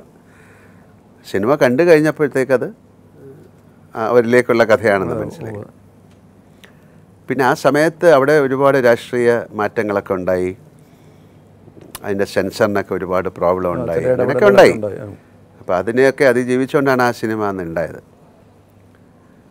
നമ്മൾ എം ജി ആർ എന്ന് പറയുന്ന കഥാപാത്രത്തിന്റെ ഒരു മാനറിസങ്ങളും അതിൽ സിനിമയിലെ മാനറിസങ്ങൾ ആ. അദ്ദേഹത്തിന് ഒരുപാട് സിനിമയിൽ ശൈലില്ല അപ്പോൾ അതിനെ ഒരു ഇമിറ്റേറ്റ് ചെയ്യാൻ നോക്കിയാൽ നമുക്കൊരു മോക്കറിയായി. ഇപ്പോൾ അത് അദ്ദേഹത്തിനെ കളിയാക്കുന്ന പോലെ ആയിരിക്കും. അദ്ദേഹത്തിന്റെ പേഴ്സണൽ ലൈഫാണ് ആ സിനിമയിൽ കൂടുതൽ. അതെനിക്കറിയില്ല. അല്ല അദ്ദേഹത്തിനെ അറിയാം പരിചയമുണ്ടെന്നുള്ളതല്ലാതെ ഞാൻ കണ്ടിട്ടുണ്ട് സംസാരിച്ചിട്ടുണ്ട്. എം ജി ആറിനെ കണ്ട് സംസാരിച്ചിട്ടുണ്ട് നേരത്തെ. എം ജി ആറിന്റെ ഫാനായിരുന്നു? ഭയങ്കര ഫാനായിരുന്നു. അത് ഇപ്പോഴും അദ്ദേഹത്തിന്റെ സിനിമകൾ. പക്ഷെ ആ സിനിമ കഴിഞ്ഞിട്ട് അദ്ദേഹത്തിന്റെ കൂടെ ഉള്ള ആൾക്കാർ പലരും പറഞ്ഞു ഒരുപാട് അദ്ദേഹത്തിന്റെ പേഴ്സണൽ ലൈഫിലെ മാനറിസം നിങ്ങൾക്കുണ്ട്. ഇപ്പോൾ അദ്ദേഹത്തിനൊരു ഇത് എന്താ വെടി കിട്ടിയിട്ടൊക്കെ ഒരു കോളർ അതെ അതെ. അപ്പം ഞാൻ ഞാൻ അത് അറിയാം അത് നമ്മൾ എഴുതി വെച്ചിട്ടൊന്നും ഒരു കേർ ചീഫ് ഞാൻ പറഞ്ഞു എനിക്കൊരു കേർ ചീഫ് വേണമെന്നാണ് അതെ അദ്ദേഹം അതങ്ങനെ ചെയ്തിരുന്നു. അതൊന്നും എനിക്കറിയില്ല. അദ്ദേഹം ഓടിപ്പോകുന്ന അത് കാര്യം നടക്കുന്ന പെട്ടെന്ന് സ്പീഡിലാണ് ഒരു സ്റ്റേജിലേക്ക് കയറുകയാണെങ്കിൽ നമ്മൾ മര്യാദയ്ക്ക് കയറി പോകാനാണെങ്കിലും പുള്ളി അങ്ങനെ ഓടി കയറിപ്പോകും. അതെ അതെ. പിന്നെ അദ്ദേഹം ഞാൻ പിന്നെ ഒരുപാട് കാര്യങ്ങളുണ്ട്. ഒരു സ്റ്റേജിൽ പോലും അദ്ദേഹം നമ്മളൊക്കെ എപ്പോഴും ചെയ്യാം ഒരു ഫംഗ്ഷൻ ഇരുന്നിട്ട് ഇപ്പോൾ ഇങ്ങനെ കൈയൊന്ന് ചൊറിയുക അല്ലെങ്കിൽ അങ്ങനെ ഒന്നും ചെയ്യില്ല. അത്രയും കെയർഫുള്ളായിരുന്നാണ് പറയുന്നത് അപ്പോൾ ഒരുപാട് അത്രയും ആ പ്രൊഫഷനോടും പേഴ്സണാലിറ്റി കീപ്പപ്പ് ചെയ്യുന്ന ആളായിരുന്നു. അപ്പോൾ ആ സിനിമ എങ്ങനെ ചെയ്തു എന്ന് ചോദിച്ചു കഴിഞ്ഞാൽ അതിനനുസരില്ല അത്. ഇന്ത്യ മുഴുവൻ ഷൂട്ട് ചെയ്തൊരു സിനിമയാണ്. അപ്പോൾ അതൊരു ആക്ടറാണ് തുടങ്ങിയിട്ട് ഒരു പൊളിറ്റിക്കൽ ഇതിലൊക്കെ പോയി നിൽക്കുന്ന സിനിമയാണ്. അത് ഈ ഒരു എനിക്ക് തോന്നുന്നത് ഇന്ത്യൻ സിനിമകളിലെ ഒരു നൂറ് സിനിമ ഒരു സിനിമയാണത്. ഒരു ഭയങ്കരമായിട്ട് ഒരു ക്രാഫ്റ്റ് വൈസ് ഒക്കെ അതിനെക്കുറിച്ച് കൂടുതൽ പഠനങ്ങൾ വേണമെന്നാണ് അത് മാത്രമല്ല ആ ഒരു കഥാപാത്രത്തെ ഞാനിപ്പം സ്തുതി വരേണ്ട കാര്യമൊന്നുമില്ല. ലാൽ സാറ് ചെയ്ത പോലെ ആർക്കും ചെയ്യാൻ പറ്റില്ലെന്ന് ഇത്ര ആൾക്കാരാണ്. ഇപ്പോഴും ഞാൻ പറയാം ആ സിനിമ കണ്ടു കഴിഞ്ഞാൽ അതാ ഈ കലാദേവതയുടെ അനുഗ്രഹം ഇങ്ങനെ തിളങ്ങി നിന്ന ഒരു ചിത്രമായിരുന്നു അല്ലേ? ആ സിനിമ അതിനെക്കുറിച്ച് പെട്ടെന്ന് ഈ വാനപ്രശ്നം ഷൂട്ട് ചെയ്തത് ഒരു ഫ്രഞ്ച് ക്യാമറാമാനായിരുന്നു ആദ്യം ആ റെനാറ്റോ ബർട്ടോ. പിന്നെ സന്തോഷം. ആ അപ്പോൾ റെനാറ്റോ ബർട്ടോ ഇവിടെ വന്നിട്ട് അദ്ദേഹത്തിന് നിക് നെയിം മില്ലി മീറ്റർ എന്നാണ്. കാര്യം അത്ര പ്രിസിഷനിലെ ഷൂട്ട് ചെയ്യുന്നത് അപ്പം നമ്മൾ ഇവിടെ വന്നിട്ട് അവർക്ക് ഒരു യൂണിയന്റെ ഇതൊക്കെ ഉണ്ട്. എട്ട് മണിക്കൂറേ ജോലിയുള്ളൂ. അപ്പം നമ്മളത് റിക്വസ്റ്റ് ചെയ്തിട്ട് അത് ട്വൽവ് അവേഴ്സ് ആക്കി തന്നു. അപ്പം അവർ റൂമിൽ നിന്ന് ഇറങ്ങുമ്പോൾ അത് ക്ലോക്ക് സ്റ്റാർട്ടാവും പന്ത്രണ്ട് മണിയാകുമ്പോൾ എങ്ങനെയാണോ അപ്പം നിർത്തിയിട്ട് പോകും. കാര്യം അവർക്കത് സിസ്റ്റമാണ് അവർക്ക് നമ്മൾ പോയി പറഞ്ഞാലൊന്നും അപ്പോൾ അങ്ങനെ ആയി ഒരു ദിവസം ചിലപ്പോൾ ഒരു ഷോട്ടൊക്കെ എടുക്കാൻ പറ്റുള്ളൂ. രണ്ട് ഷോട്ടൊക്കെ ആയി. അപ്പോൾ നമ്മൾ അത് പാക്ക് ചെയ്തിട്ട് അദ്ദേഹത്തിനോട് സംസാരിച്ചു. അപ്പോൾ പുള്ളി പറഞ്ഞു കുഴപ്പമില്ല. എനിക്കും ആ പുള്ളിക്കും ചില ഈ അവിടുത്തെ വീടുകളിലൊക്കെ കൺസ്ട്രക്ഷനൊക്കെ വേറെയല്ലേ? ലൈറ്റ് അപ്പ് ചെയ്യാനൊക്കെ ഭയങ്കര പ്രോബ്ലമായി അപ്പോൾ നമ്മൾ ഞങ്ങൾ വേറൊരു ക്യാമറാമാനെ വെച്ചോട്ടെ എന്ന് ചോദിച്ചിട്ട്. അപ്പം ഞാൻ പറഞ്ഞു സന്തോഷം. അപ്പോൾ സിനിമ കാണണം എന്ന് പറഞ്ഞു. അങ്ങനെ ഇരുവരാണ് കാണിച്ചു കൊടുത്തത്. അപ്പോൾ അദ്ദേഹം ആദ്യം ഓക്കെ എന്ന് പറഞ്ഞു. സന്തോഷം പറഞ്ഞു ഇപ്പോൾ വാനപ്രസ്ഥം അപ്പോൾ എന്നിട്ട് ഒരു കാര്യം കൂടെ പറയാം സന്തോഷൻ അപ്പോൾ അദ്ദേഹം ഷൂട്ട് ചെയ്തത് ഒരു പ്ലാറ്റിനം എന്നൊക്കെ അങ്ങനെ ആ ഒരു ഫോർമാറ്റിലുള്ള ക്യാമറ വെച്ചാണ് പാനാവിഷൻ. അതിങ്ങനെ കറക്കെയാണ് ഷൂട്ട് ചെയ്യണം അപ്പോൾ സന്തോഷം വന്നപ്പോഴും ഇത് പാനാവിഷനിലാണ് ഷൂട്ട് ചെയ്യേണ്ടത്. പക്ഷെ അദ്ദേഹം വന്നതുകൊണ്ടാണ് അവർ പ്ലാറ്റിനം കൊടുത്തത്. സന്തോഷം പറഞ്ഞു എനിക്ക് പ്ലാറ്റിനോ വെള്ളിയോ ചെമ്പോ എന്ത് തന്നാലും മതി പറഞ്ഞു, എനിക്ക് അതേ അത് അതൊരു കോൺഫിഡൻസ് ആണ്. റെനാറ്റോ ബട്ടേക്കാട്ടിലും കോൺഫിഡൻസിലാണ് നാഷണൽ അവാർഡാണ് അദ്ദേഹത്തിന് അൺബിലീവബിൾ ആയിട്ട് ഷൂട്ട് ചെയ്തു. പുള്ളി പറഞ്ഞു "പിന്നെ ഞാൻ ഓട്ടോറിക്ഷ ഓടിച്ച് പഠിച്ച ആളാണ്. എനിക്ക് ബെൻസിൽ ഓടിക്കാം ഓട്ടോറിക്ഷ ഓടിക്കാം. എന്നിട്ട് വളരെ ഏറ്റവും അതിന്റെ ഇതിൽ വെച്ചിട്ടാണ് ഷൂട്ട് ചെയ്തിരിക്കുന്നത്. അല്ല ഇന്നലെ ഞാൻ സന്തോഷ് ശിവനോട് സംസാരിച്ചായിരുന്നു. ഇങ്ങനെ ലാൽ സാറിന്റെ ഇന്റർവ്യൂ ഒരു പക്ഷേ ഇന്ന് നടന്നേക്കും പുള്ളി പറഞ്ഞു ആ മനുഷ്യന്റെ ഈ കഥാപാത്രത്തിലേക്ക് ഒരു കയറുന്ന ഇതുണ്ടല്ലോ. അതിന്റെ വിസ്മയം ഇന്നും എനിക്ക് മനസ്സിലായിട്ടില്ലെന്ന് പറഞ്ഞു ഓരോ ക്യാരക്ടർ ഇപ്പോൾ ഈ പറഞ്ഞ ഈ സിനിമയെക്കുറിച്ചൊക്കെ പറഞ്ഞു. ഇപ്പോൾ കാലാപ്പാനി ആണെങ്കിലും ഇരുവറാണെങ്കിലും വാനപ്രസ്ഥമാണെങ്കിലും ഇനിയിപ്പോൾ ബെറോസ് ആണ് എല്ലാം എന്റയർലി ഡിഫറെന്റ് അല്ലേ? അതൊരു വലിയ നിയോഗമാണ്. ഇപ്പം മറ്റൊരു കാര്യം ഇപ്പം വാനപ്രസ്ഥത്തിന്റെ കാര്യം പറയുമ്പം ഈ കലാമണ്ഡലം കൃഷ്ണൻ നായർ അമ്മന്നൂർ മാധവ ചാക്യാർ കലാമണ്ഡലം ഗോപിയാസൻ ഇവരുടെയൊക്കെ അഭിനയം കണ്ടിട്ടുണ്ടോ? അതിനെയൊക്കെ എങ്ങനെയാണ് നോക്കി ഞാൻ പിന്നെ കണ്ടിട്ടുണ്ട്. ഗോപിയാശാന്റെ കണ്ടിട്ടുണ്ട്.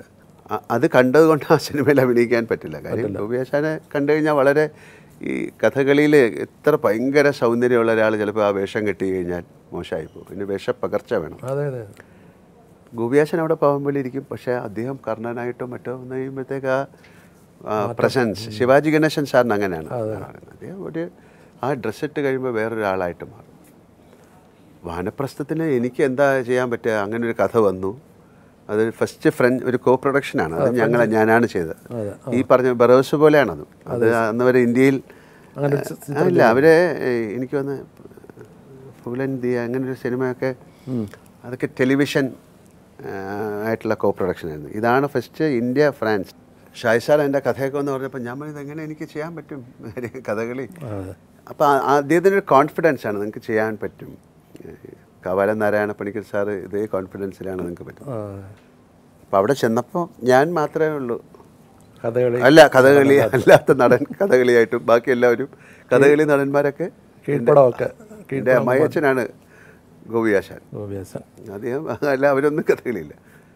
പക്ഷേ എന്താ പറഞ്ഞാൽ കുറച്ച് നാൾ അവിടെ നിന്ന് കുറച്ച് എന്നാൽ ഒരു പത്ത് ദിവസം അല്ലെങ്കിൽ പതിനഞ്ച് ദിവസം ഒക്കെ അതിന്റെ കൂടെ നിന്ന് കുറച്ച് പഠിക്കാൻ സാധിച്ചു. കുട്ടിക്കാലത്ത് കഥകളി കാണാൻ കണ്ടിട്ടുണ്ട്. ഞാൻ എന്റെ അച്ഛന്റെ കൂടെ പോയി കാണുകയൊക്കെ പക്ഷെ അതൊക്കെ നമുക്കൊന്നും അറിയില്ലല്ലോ അതിന്റെ മുദ്രകളോ കാര്യങ്ങളോ. പക്ഷേ ഈ സിനിമ ഷൂട്ടിംഗ് എല്ലാം കഴിഞ്ഞിട്ട് ഗോപി ആശാൻ ഒരു അഭിപ്രായം പറഞ്ഞായിരുന്നല്ലോ. അതൊക്കെ. അല്ലല്ല അത് ഇത് കഴിഞ്ഞിട്ട് എനിക്ക് ഏറ്റവും എനിക്ക് അതിലൊരു കോൺഫിഡൻസോ അങ്ങനെയൊന്നും പറയുന്നില്ല. കോൺഫിഡൻസ് അല്ല. ഞാൻ ആദ്യമായിട്ട് അവിടെ പോയി ഈ കഥകളി വേഷം കെട്ടണമല്ലോ. ഞാൻ പതിമൂന്ന് മണിക്കൂറൊക്കെ അത് കെട്ടി നിന്നിട്ടുണ്ട്. അവർ പോലും നിൽക്കില്ല എന്ന് പറഞ്ഞിട്ടുണ്ട്. കാര്യം ഇത് ഉടുത്ത് കഴിഞ്ഞ് നമുക്കൊന്നും ഒരു വാഷ് ഒരു ബാത്റൂമിൽ പോലും ഒന്നും പോകാൻ പറ്റില്ല. തല ഞാൻ കിരീടവും വെച്ചിട്ട്. ഞാൻ ഡ്രസ്സൊക്കെ ചെയ്ത് അവിടെ നിൽക്കുകയാണ് എന്റെ ഷോട്ട് എടുക്കാനായിട്ട് ആദ്യം അപ്പം. വളരെ ദൂരെ മാറി നിന്ന് എന്നെ ഡ്രസ്സൊക്കെ ചെയ്ത ആൾക്കാർ തമ്മിൽ സംസാരിക്കുന്നുണ്ട്. അപ്പോൾ എന്റെ മേക്കപ്പ് മാൻ അവരുടെ അടുത്ത് നിൽപ്പുണ്ടായിരുന്നു അപ്പം ഞാൻ കുറച്ച് കഴിഞ്ഞ് അയാളെ വിളിച്ചു ചോദിച്ചു എന്താ അവർ പറഞ്ഞത്? അപ്പോൾ അത് ഇങ്ങനെ നോക്കിയിട്ട് പറഞ്ഞു കിഷന്നാരാശാനെ പോലെ ഉണ്ട് എന്ന്. അപ്പോൾ അതൊരു വലിയ അനുഗ്രഹമാണ്. അപ്പം പിന്നെ ഞാൻ ഭയങ്കരമായിട്ട് അവിടെ നിന്ന് പ്രാർത്ഥിച്ചു. എല്ലാ ദിവസവും പ്രാർത്ഥിക്കും. എനിക്ക് എന്നെ ഹെൽപ്പ് ചെയ്യണം കാര്യം അത് അങ്ങനെയാണ്. ആ കിരീടം അതൊരു ഗുരുവിനെ ധ്യാനിച്ച് തലയിൽ കെട്ടി ഒറ്റ കെട്ടാത് കുറച്ച് നനച്ച് കെട്ടും. അത് ഊരിപ്പോകാൻ പാടില്ല എന്നാണ് കഴിയുന്നിടം വരെ. അതൊരു ഭയങ്കര ബിലീഫാണ്. അപ്പം ഞാൻ വിശ്വസിക്കുന്ന അവരുടെയൊക്കെ പിന്നെ എല്ലാ ദിവസവും അവരൊക്കെ നമ്മളെ അനുഗ്രഹിക്കും.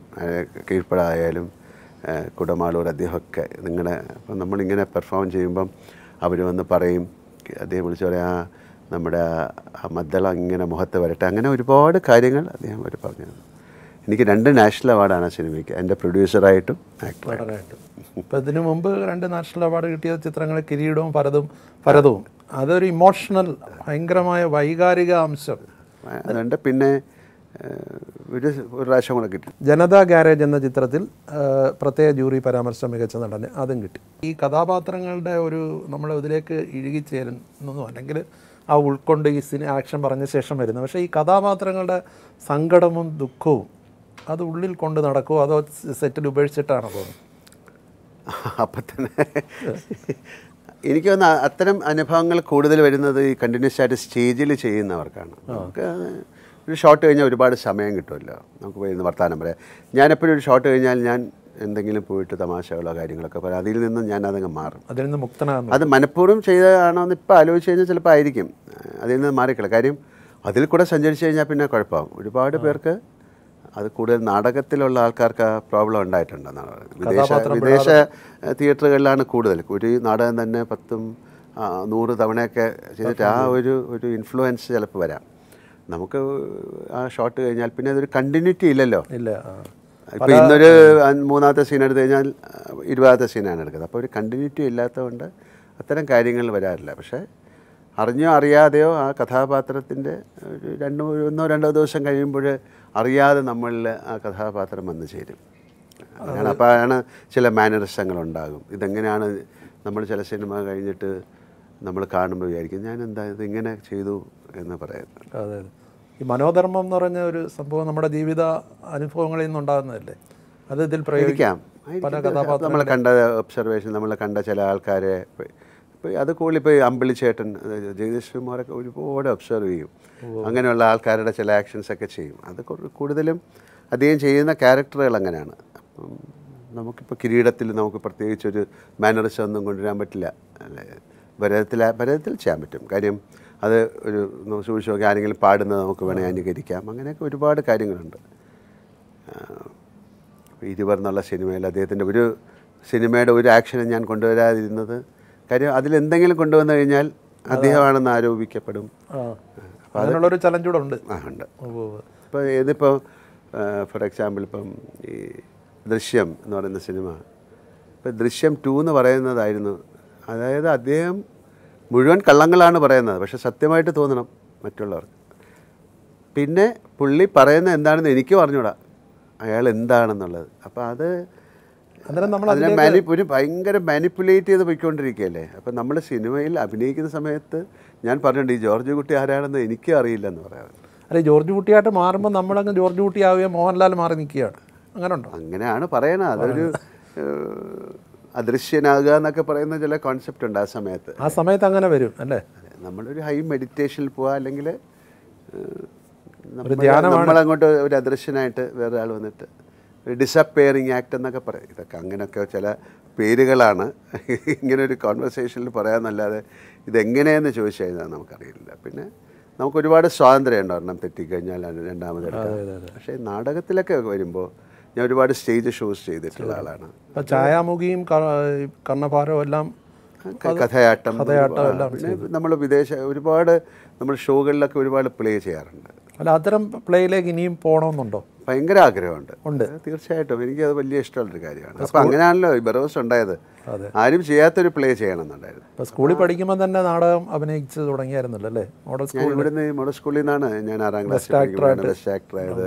പിന്നെ കോളേജ് പത്താം ക്ലാസ്സിൽ പഠിക്കുമ്പോൾ ആയി കോളേജിൽ പഠിക്കുമ്പോൾ ഞാൻ ബെസ്റ്റ് ആക്ടറായിരുന്നു പിന്നെ സിനിമയിൽ വന്നപ്പോൾ ബെസ്റ്റ് ആക്ടർ അല്ല ഈ കുട്ടിക്കാലത്ത് ഈ കണ്ണാടിയുടെ മുന്നിലൊക്കെ നിലക്കണ്ണാടിയുടെ മുന്നിലൊക്കെ നിന്ന് അഭിനയിച്ച ചെയ്യുന്നത് അങ്ങനെയൊന്നും ചെയ്യില്ല. ഇപ്പം എന്റെ അടുത്ത് അമ്മ പറയാതെ ഇങ്ങനെ ചെയ്യുകയാണെന്നൊക്കെ പക്ഷെ എന്റെ ഓർമ്മകളിൽ അങ്ങനെയൊന്നുമല്ല അങ്ങനെ ഒരു ആക്ടർ ആകണമെന്നൊന്നും ഞാൻ ആഗ്രഹിച്ചിട്ടേ ഇല്ല. അങ്ങനെ ഇല്ല. അങ്ങനെ അറിയാതൊരു ഡെസ്റ്റൈൻഡാണ് അല്ലെ ഇനി അഭിനയമാണ് എന്റെ ജീവിതം എന്നുള്ള നിശ്ചയിക്കുന്നത് എപ്പോഴാണ്? അല്ല ഇപ്പോഴും അറിഞ്ഞൂടാ. ഇതാണോ എന്റെ കാര്യം? അങ്ങനെയാണല്ലോ. അതിപ്പോൾ അങ്ങനെ നിശ്ചയിച്ചു കഴിഞ്ഞാൽ നമുക്ക് കൺഫ്യൂഷനായിപ്പോൾ ഇതാണോ എന്റെ ജീവിതം എന്ന് എനിക്കറിയില്ല. സത്യമായിട്ട് പറയാണ്. ഇപ്പോൾ എന്തിനാണ് ഡയറക്റ്റ് ഇപ്പോൾ ഇനി ഡയറക്ടർ ആകുമെന്ന് ചോദിച്ചു കഴിഞ്ഞാൽ അങ്ങനെ പറയാൻ പറ്റില്ലല്ലോ ഇപ്പം. ഇപ്പോൾ ഇത് കഴിഞ്ഞിട്ട് നമുക്ക് വേണമെങ്കിൽ എന്താ ചെയ്യുക ഒരു വലിയ ഐ മാക്സ് സിനിമ ചെയ്യാം. ആരും ചെയ്യാത്തൊരു കാര്യമാണ് ഇന്ത്യയിൽ. അപ്പോൾ അങ്ങനെയൊക്കെയുള്ള ഏതെങ്കിലും ഒരു കാര്യത്തിലേക്ക് നമ്മളെ നയിച്ചു കൊണ്ടുപോകുമായിരിക്കും അല്ലാതെ ഒരു സിനിമ ചെയ്യണം എന്നുള്ള ആഗ്രഹം പണ്ട് ഉണ്ടായിരുന്നില്ല. സിനിമയിൽ അഭിനയിക്കണം എന്നുള്ള ആഗ്രഹം ഉണ്ടായിരുന്നില്ല. എല്ലാ ഹാപ്പനിങ്സ് ആണ്. ആ അങ്ങനെ സത്യം അതല്ലേ സത്യം? അല്ലേ? നമ്മുടെ ജീവിതത്തിൽ നമ്മൾ വിചാരിക്കും നമ്മളാണ് ഇതെല്ലാം ചെയ്യുന്നതെന്ന്. അങ്ങനെയല്ലല്ലോ. നമുക്ക് പറ്റുന്ന ജയപരാജയങ്ങളെല്ലാം. ഏത് കാര്യങ്ങളായാലും ഒരു പ്രീ ഡിസ്റ്റൈൻഡ് എന്നൊക്കെയുള്ള ചില വാക്കുകളുണ്ട്. പക്ഷെ അതിനെ നമ്മൾ ഓവർകം ചെയ്തല്ലേ? അതെ അതെ അതെ. നമുക്ക് ഒരുപാട് ഇപ്പോൾ ട്രോമാസ് ജീവിതത്തിലുണ്ടാവും. നേച്ചറിലുണ്ടാവും ഇപ്പോൾ ഉരുൾ പൊട്ടി അല്ലെങ്കിൽ ഭയങ്കര പ്രളയം വന്നു. ഒരുപാട് നിരപരാധികൾ അതിൽ ഒലിച്ചുപോയി. പോയി എല്ലാവരും അപരാധികൾ ഉണ്ടെന്നല്ല ഞാൻ പറയുന്നത്. ആ ഒന്നും അറിയാത്ത എത്രയോ പേര് മരിച്ചുപോയി.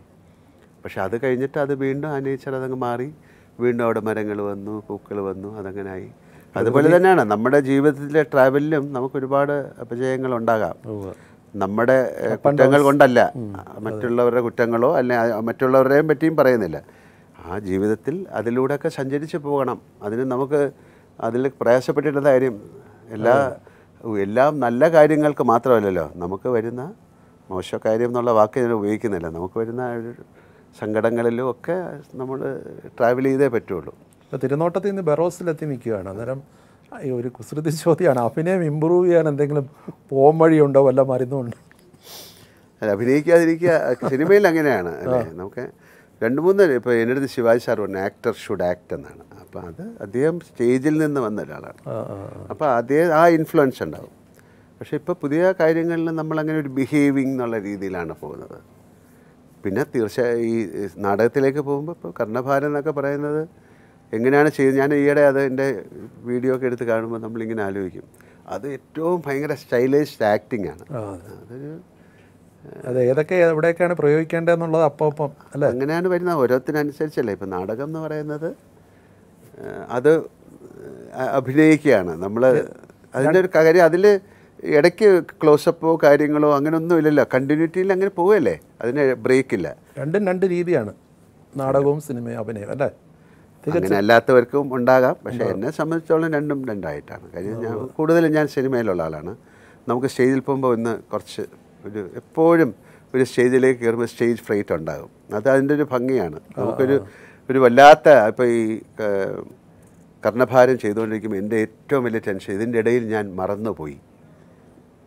അപ്പോൾ എന്ത് ചെയ്യും? ബ്ലാക്ക് ഔട്ട് എന്ന് പറയും. ഒരുപാട് ആക്ടേഴ്സ് കൂടുതൽ ഡാൻസൊക്കെ ചെയ്യുന്നവർക്കുണ്ടാകും കർണഭാരത്തിൽ ഒന്നാമത് ഈ സംസ്കൃതം കുറച്ച് പറഞ്ഞു കഴിയുമ്പോഴേ നമ്മൾ അങ്ങ് ഭയങ്കരമായിട്ട് അങ്ങ് എനർജറ്റിക് ആവും. ആ. കാര്യം ഒരു ഒരു പ്രത്യേക ഭാഷയല്ലേ എന്റെ പ്രിനൗൺസിയേഷനൊക്കെ അങ്ങനെ കുറച്ച് കഴിഞ്ഞിട്ട് കുറേ സമയം ഞാൻ മിണ്ടാതിരിക്കുന്നുണ്ട്. ഇന്ദ്രൻ വന്നിട്ട് വേഷം മാറി വന്നിട്ട്. അപ്പോഴാണ് ഞാൻ ആലോചിക്കുന്നത് അടുത്ത ഡയലോഗ് അറിയില്ല.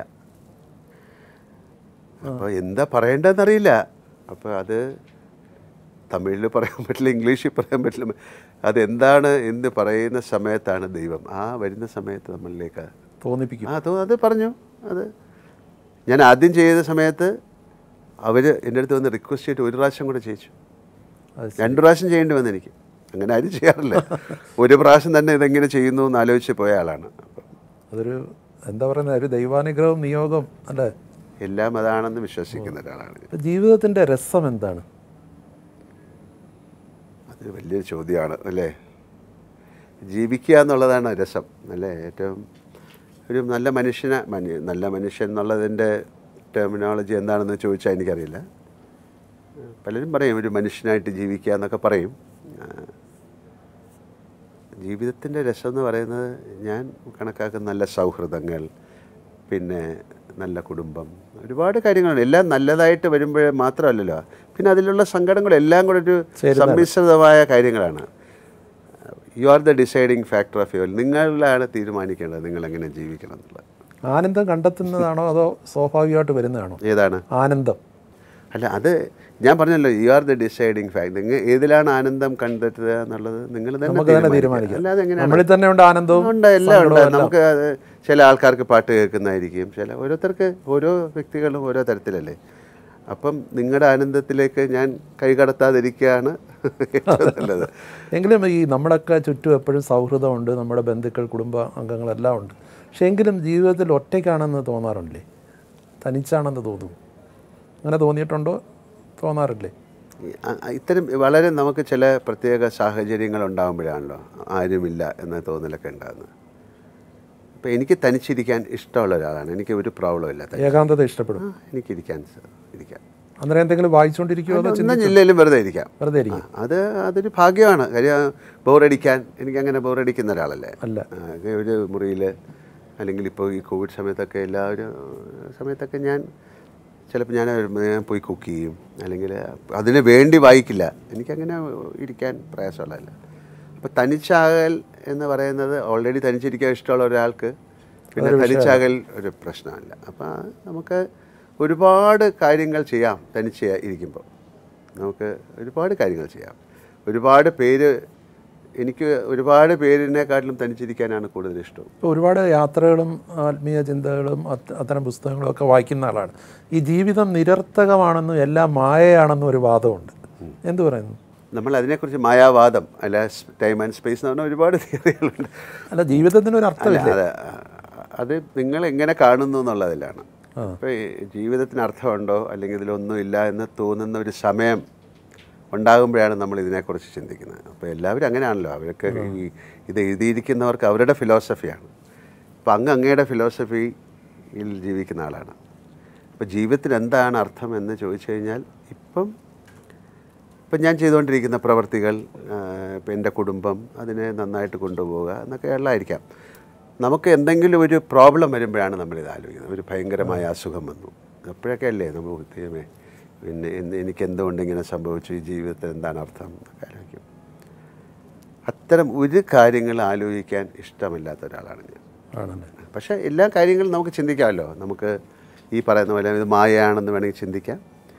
ആ- സമയം ആ ഒരു കോണ്ടസ്റ്റിലാണ് ഇപ്പോൾ ഒരാൾ അതിനെക്കുറിച്ച് എന്നോട് സംസാരിക്കുകയാണെങ്കിൽ എനിക്ക് വലിയ താല്പര്യമാണ് കേട്ടുകൊണ്ടിരിക്കാൻ അപ്പോൾ അത് കഴിഞ്ഞിട്ട് പിന്നെ ഞാൻ അതിനെ കണ്ടിന്യൂ ചെയ്യില്ല. അത് പിന്നെ ഒരു മായയായിട്ട് ഒക്കെ പോയി കഴിഞ്ഞാൽ ഭയങ്കര കോംപ്ലിക്കേഷനായി പോകും. പിന്നെ ഇത്തരം ചിന്തകളില്ലാതെ വളരെ പിന്നെ ഹാപ്പി ആയിട്ടിരിക്കുന്ന കൊണ്ടായിരിക്കാം നമുക്ക് അഭിനയിക്കാൻ സാധിക്കുന്നത്. അല്ലെങ്കിൽ ഒരു വളരെ എന്തെങ്കിലും ഒരു നമുക്ക് കേൾക്കാൻ ആഗ്രഹം ഇല്ലാത്ത ഒരുപാട് കാര്യങ്ങൾ നമ്മൾ കേൾക്കുമ്പോൾ നമുക്ക് പതറാതിരിക്കുന്നത് അല്ലെങ്കിൽ ഒരാൾ പറയണം നിങ്ങളെപ്പറ്റി ഒരാൾ അങ്ങനെ പറഞ്ഞു എന്ന് പറയുമ്പോൾ ആയിക്കോട്ടെ.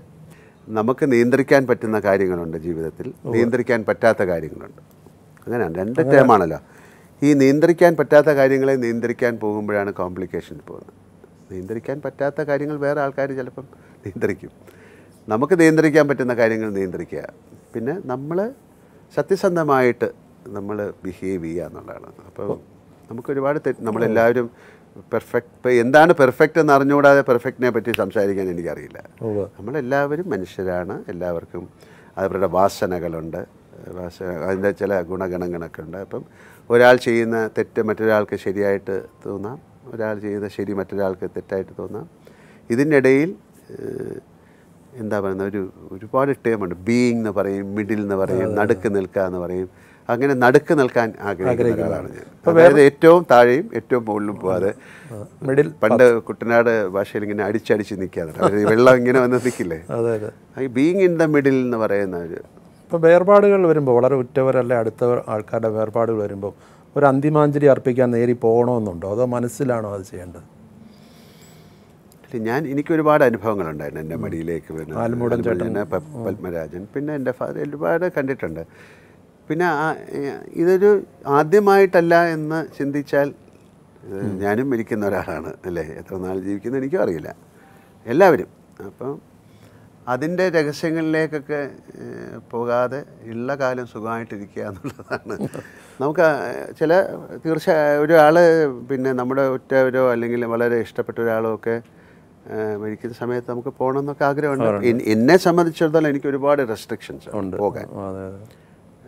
പല ഇപ്പം ഞാൻ ഇവിടെ രണ്ട് ദിവസത്തിന് മുമ്പ് ഉള്ള ഒരു പ്രോഗ്രാമിൽ ഗാന്ധിമതി അദ്ദേഹത്തിന് എനിക്ക് വളരെ എത്രയോ വർഷത്തെ പരിചയമുള്ള പക്ഷേ എനിക്ക് ഒരിക്കലും എത്താൻ പറ്റാതായിപ്പോയി. അപ്പോൾ അതിന്റെ ഒരു സങ്കടം ഉണ്ടാവും അവരുടെ ഫാമിലിയെ കാണുമ്പോൾ അപ്പോൾ അത് അവരോട് നേരിട്ട് പറഞ്ഞു എത്താൻ പറ്റാത്തതുകൊണ്ടാണ്. അപ്പോൾ അത്തരത്തിലിപ്പം നമ്മുടെ വളരെ വേണ്ടപ്പെട്ട ഒരാൾ മരിക്കുന്ന സമയത്ത് നമ്മൾ ഈ രാജ്യത്തിന് പുറത്തൊക്കെ ആണെങ്കിൽ ഒന്നും ചെയ്യാൻ പറ്റില്ല. ഒരുപാട് പേർക്ക് വിദേശത്തുള്ള എത്രയോ പേര് അച്ഛനും അമ്മമാരും മരിച്ചിട്ട് അവർക്ക് വരാൻ പറ്റാതായിട്ടുണ്ട് അത് അതും ഒരു നിയോഗമാണ് അതിന്റെ അവിടെ എത്തുക.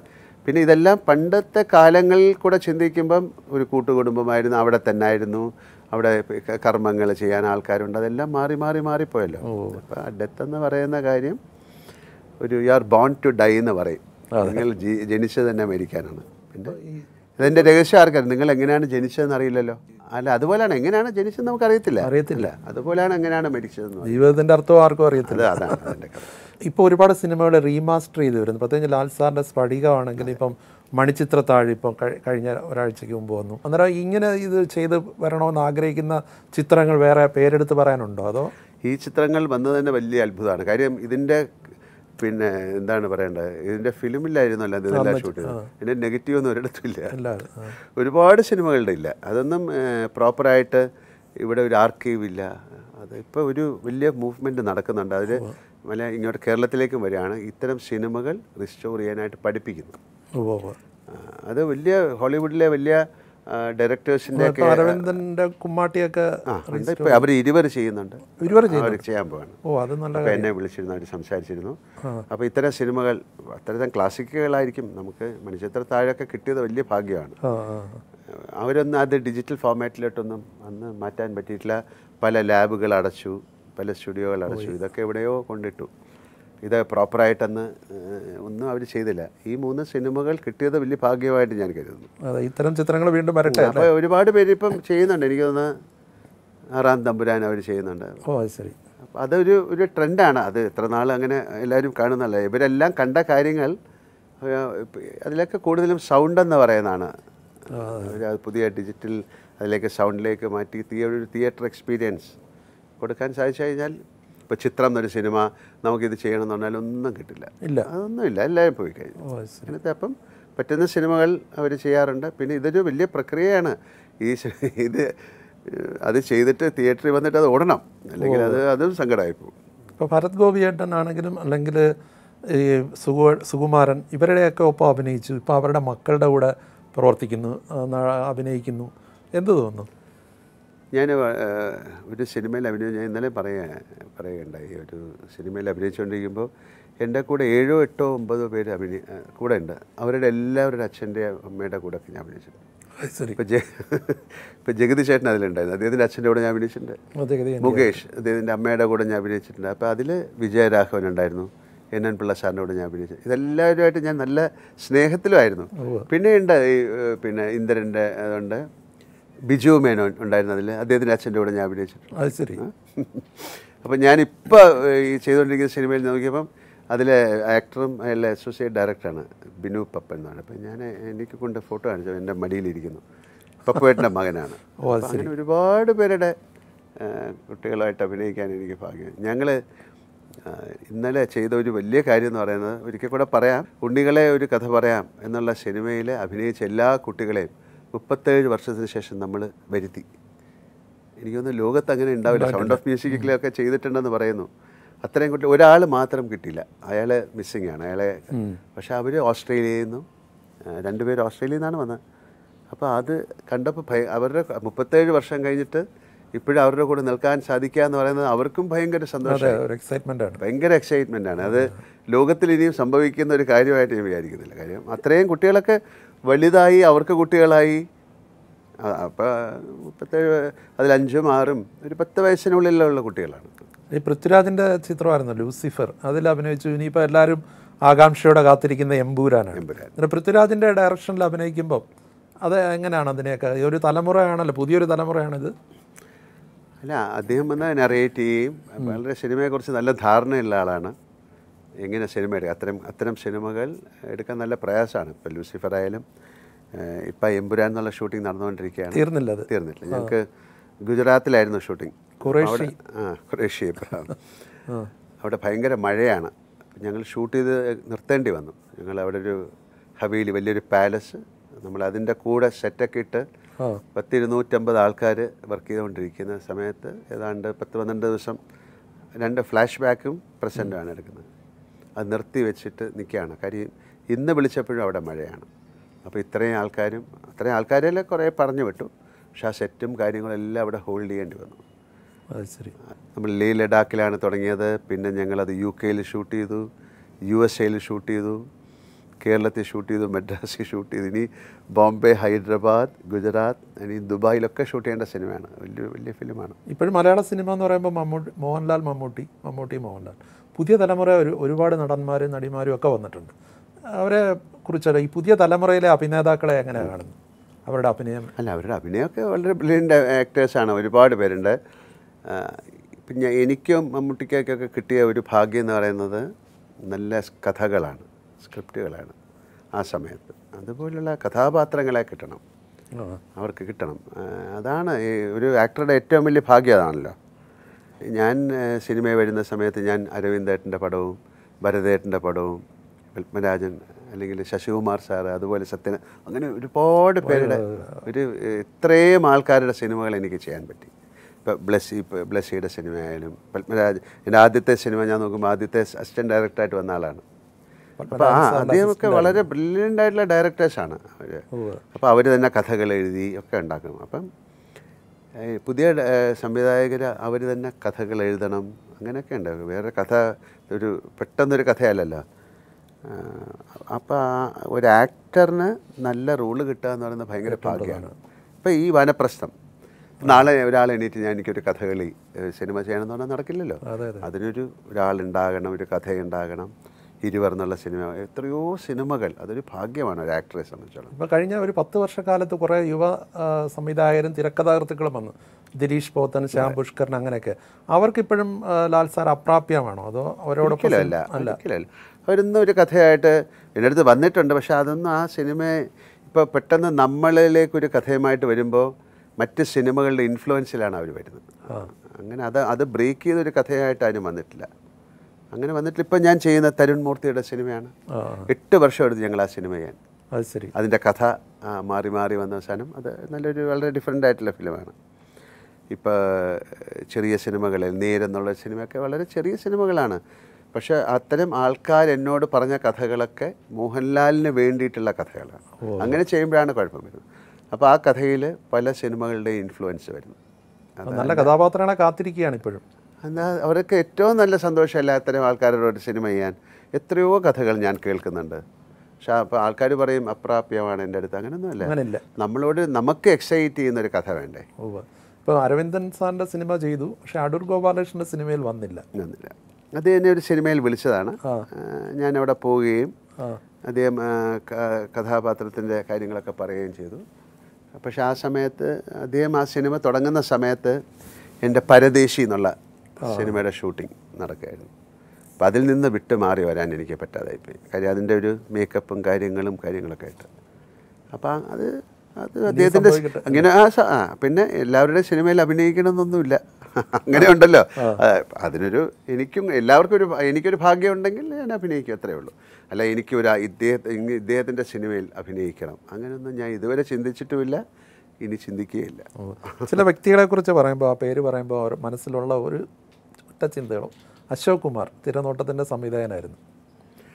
അദ്ദേഹം ഇല്ലെങ്കിൽ ഞാനിവിടെ ഇരുന്ന് അങ്ങേയടുത്ത് സംസാരിക്കില്ലല്ലോ. കാര്യം എത്രയോ വർഷത്തെ ബന്ധം അങ്ങനെ ഒരു സിനിമ അന്ന് ശരിക്കും പ്ലസ് ടു ഒന്നുമില്ലല്ലോ. പ്രീ ഡിഗ്രിക്ക് പഠിക്കുമ്പോൾ അങ്ങനെ ഒരു സിനിമ എടുക്കാൻ ആരും തയ്യാറായില്ല. വലിയ വലിയ ആൾക്കാരുള്ള സ്ഥലമാണ്. അപ്പോൾ ആ സമയത്ത് ഒരു സിനിമ എടുക്കാൻ ഒരാൾ തയ്യാറാകുക കാര്യം രാജീവ് നാഥ് അദ്ദേഹത്തിന്റെ ജ്യേഷ്ഠനായിരുന്നു.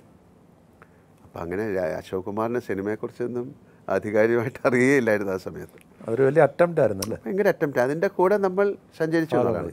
അപ്പോൾ അതുകൊണ്ടാണ് ഞാൻ ഇപ്പം നിങ്ങളുടെ മുമ്പിൽ സംസാരിക്കുന്നത്. അപ്പോൾ അശോകുമായിട്ട് എല്ലാ ദിവസവും മിക്ക ദിവസവും ഞാൻ സംസാരിക്കും ഇപ്പോഴും.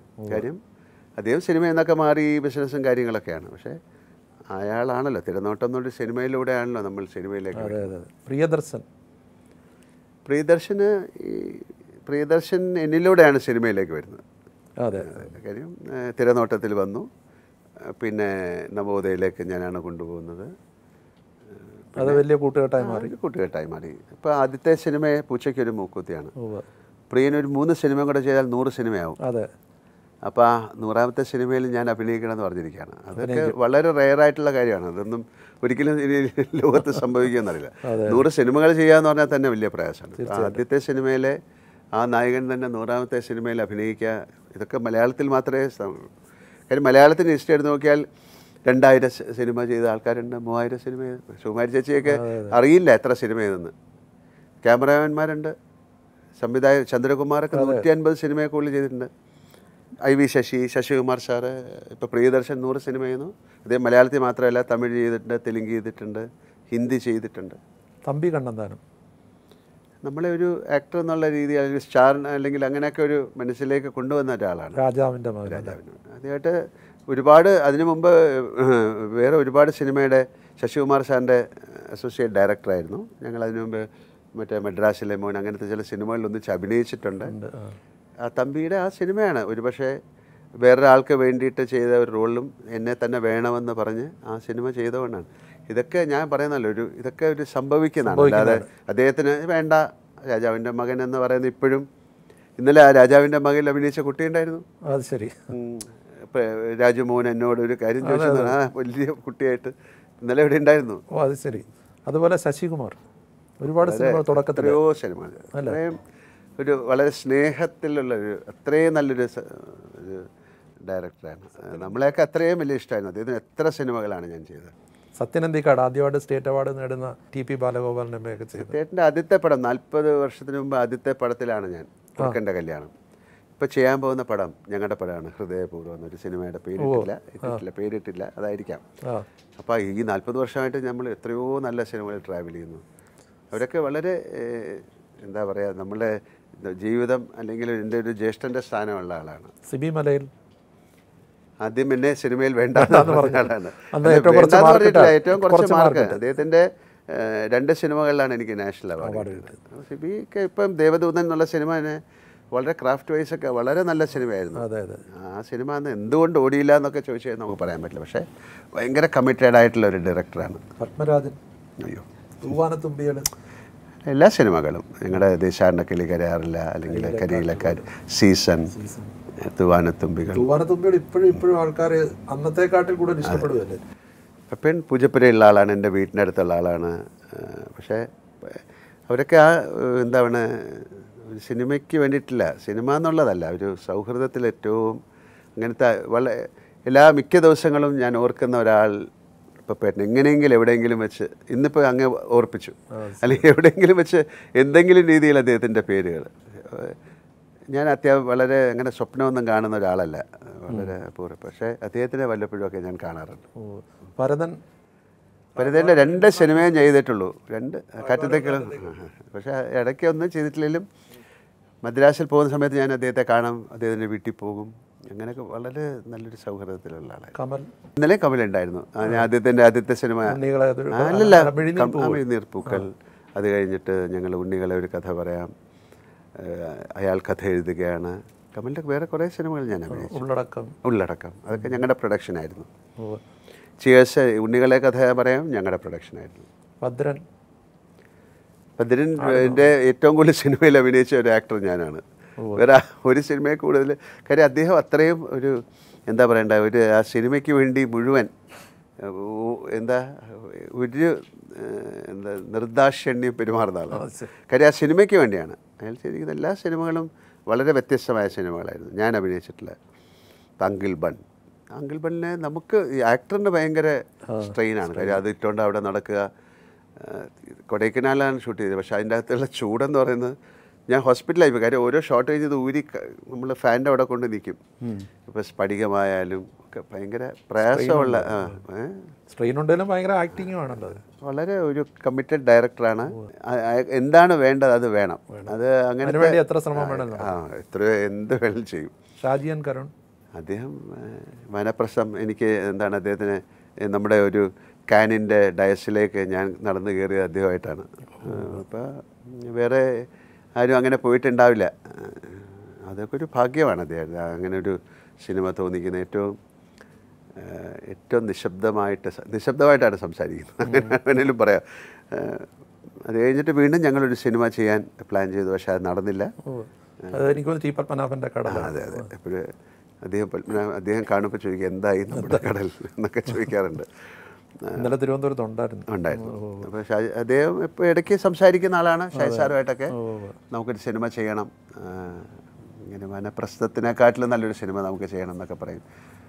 നമ്മുടെ ജീവിതത്തിലെ പിന്നെ മൈൽ സ്റ്റോണുകളാണ് ഇവരൊക്കെ ബ്ലസ്സി? ബ്ലസ്സിയുടെ മൂന്ന് സിനിമകളും എന്റെ സിനിമാ ജീവിതത്തിലെ ഏറ്റവും എനിക്ക് ഇഷ്ടപ്പെട്ട കഥാപാത്രങ്ങളാണ്. തന്മാത്ര. തന്മാത്ര. പ്രണയം. പ്രണയം ഭ്രമരം. ഭ്രമരം. പിന്നെ ബ്ലസ്സിയായിട്ട് ഞാൻ വേറൊരു പ്രോജക്റ്റിലും ഞാൻ അദ്ദേഹത്തിന് ഒരു ഗിനസ് റെക്കോർഡ് കിട്ടിയല്ലോ.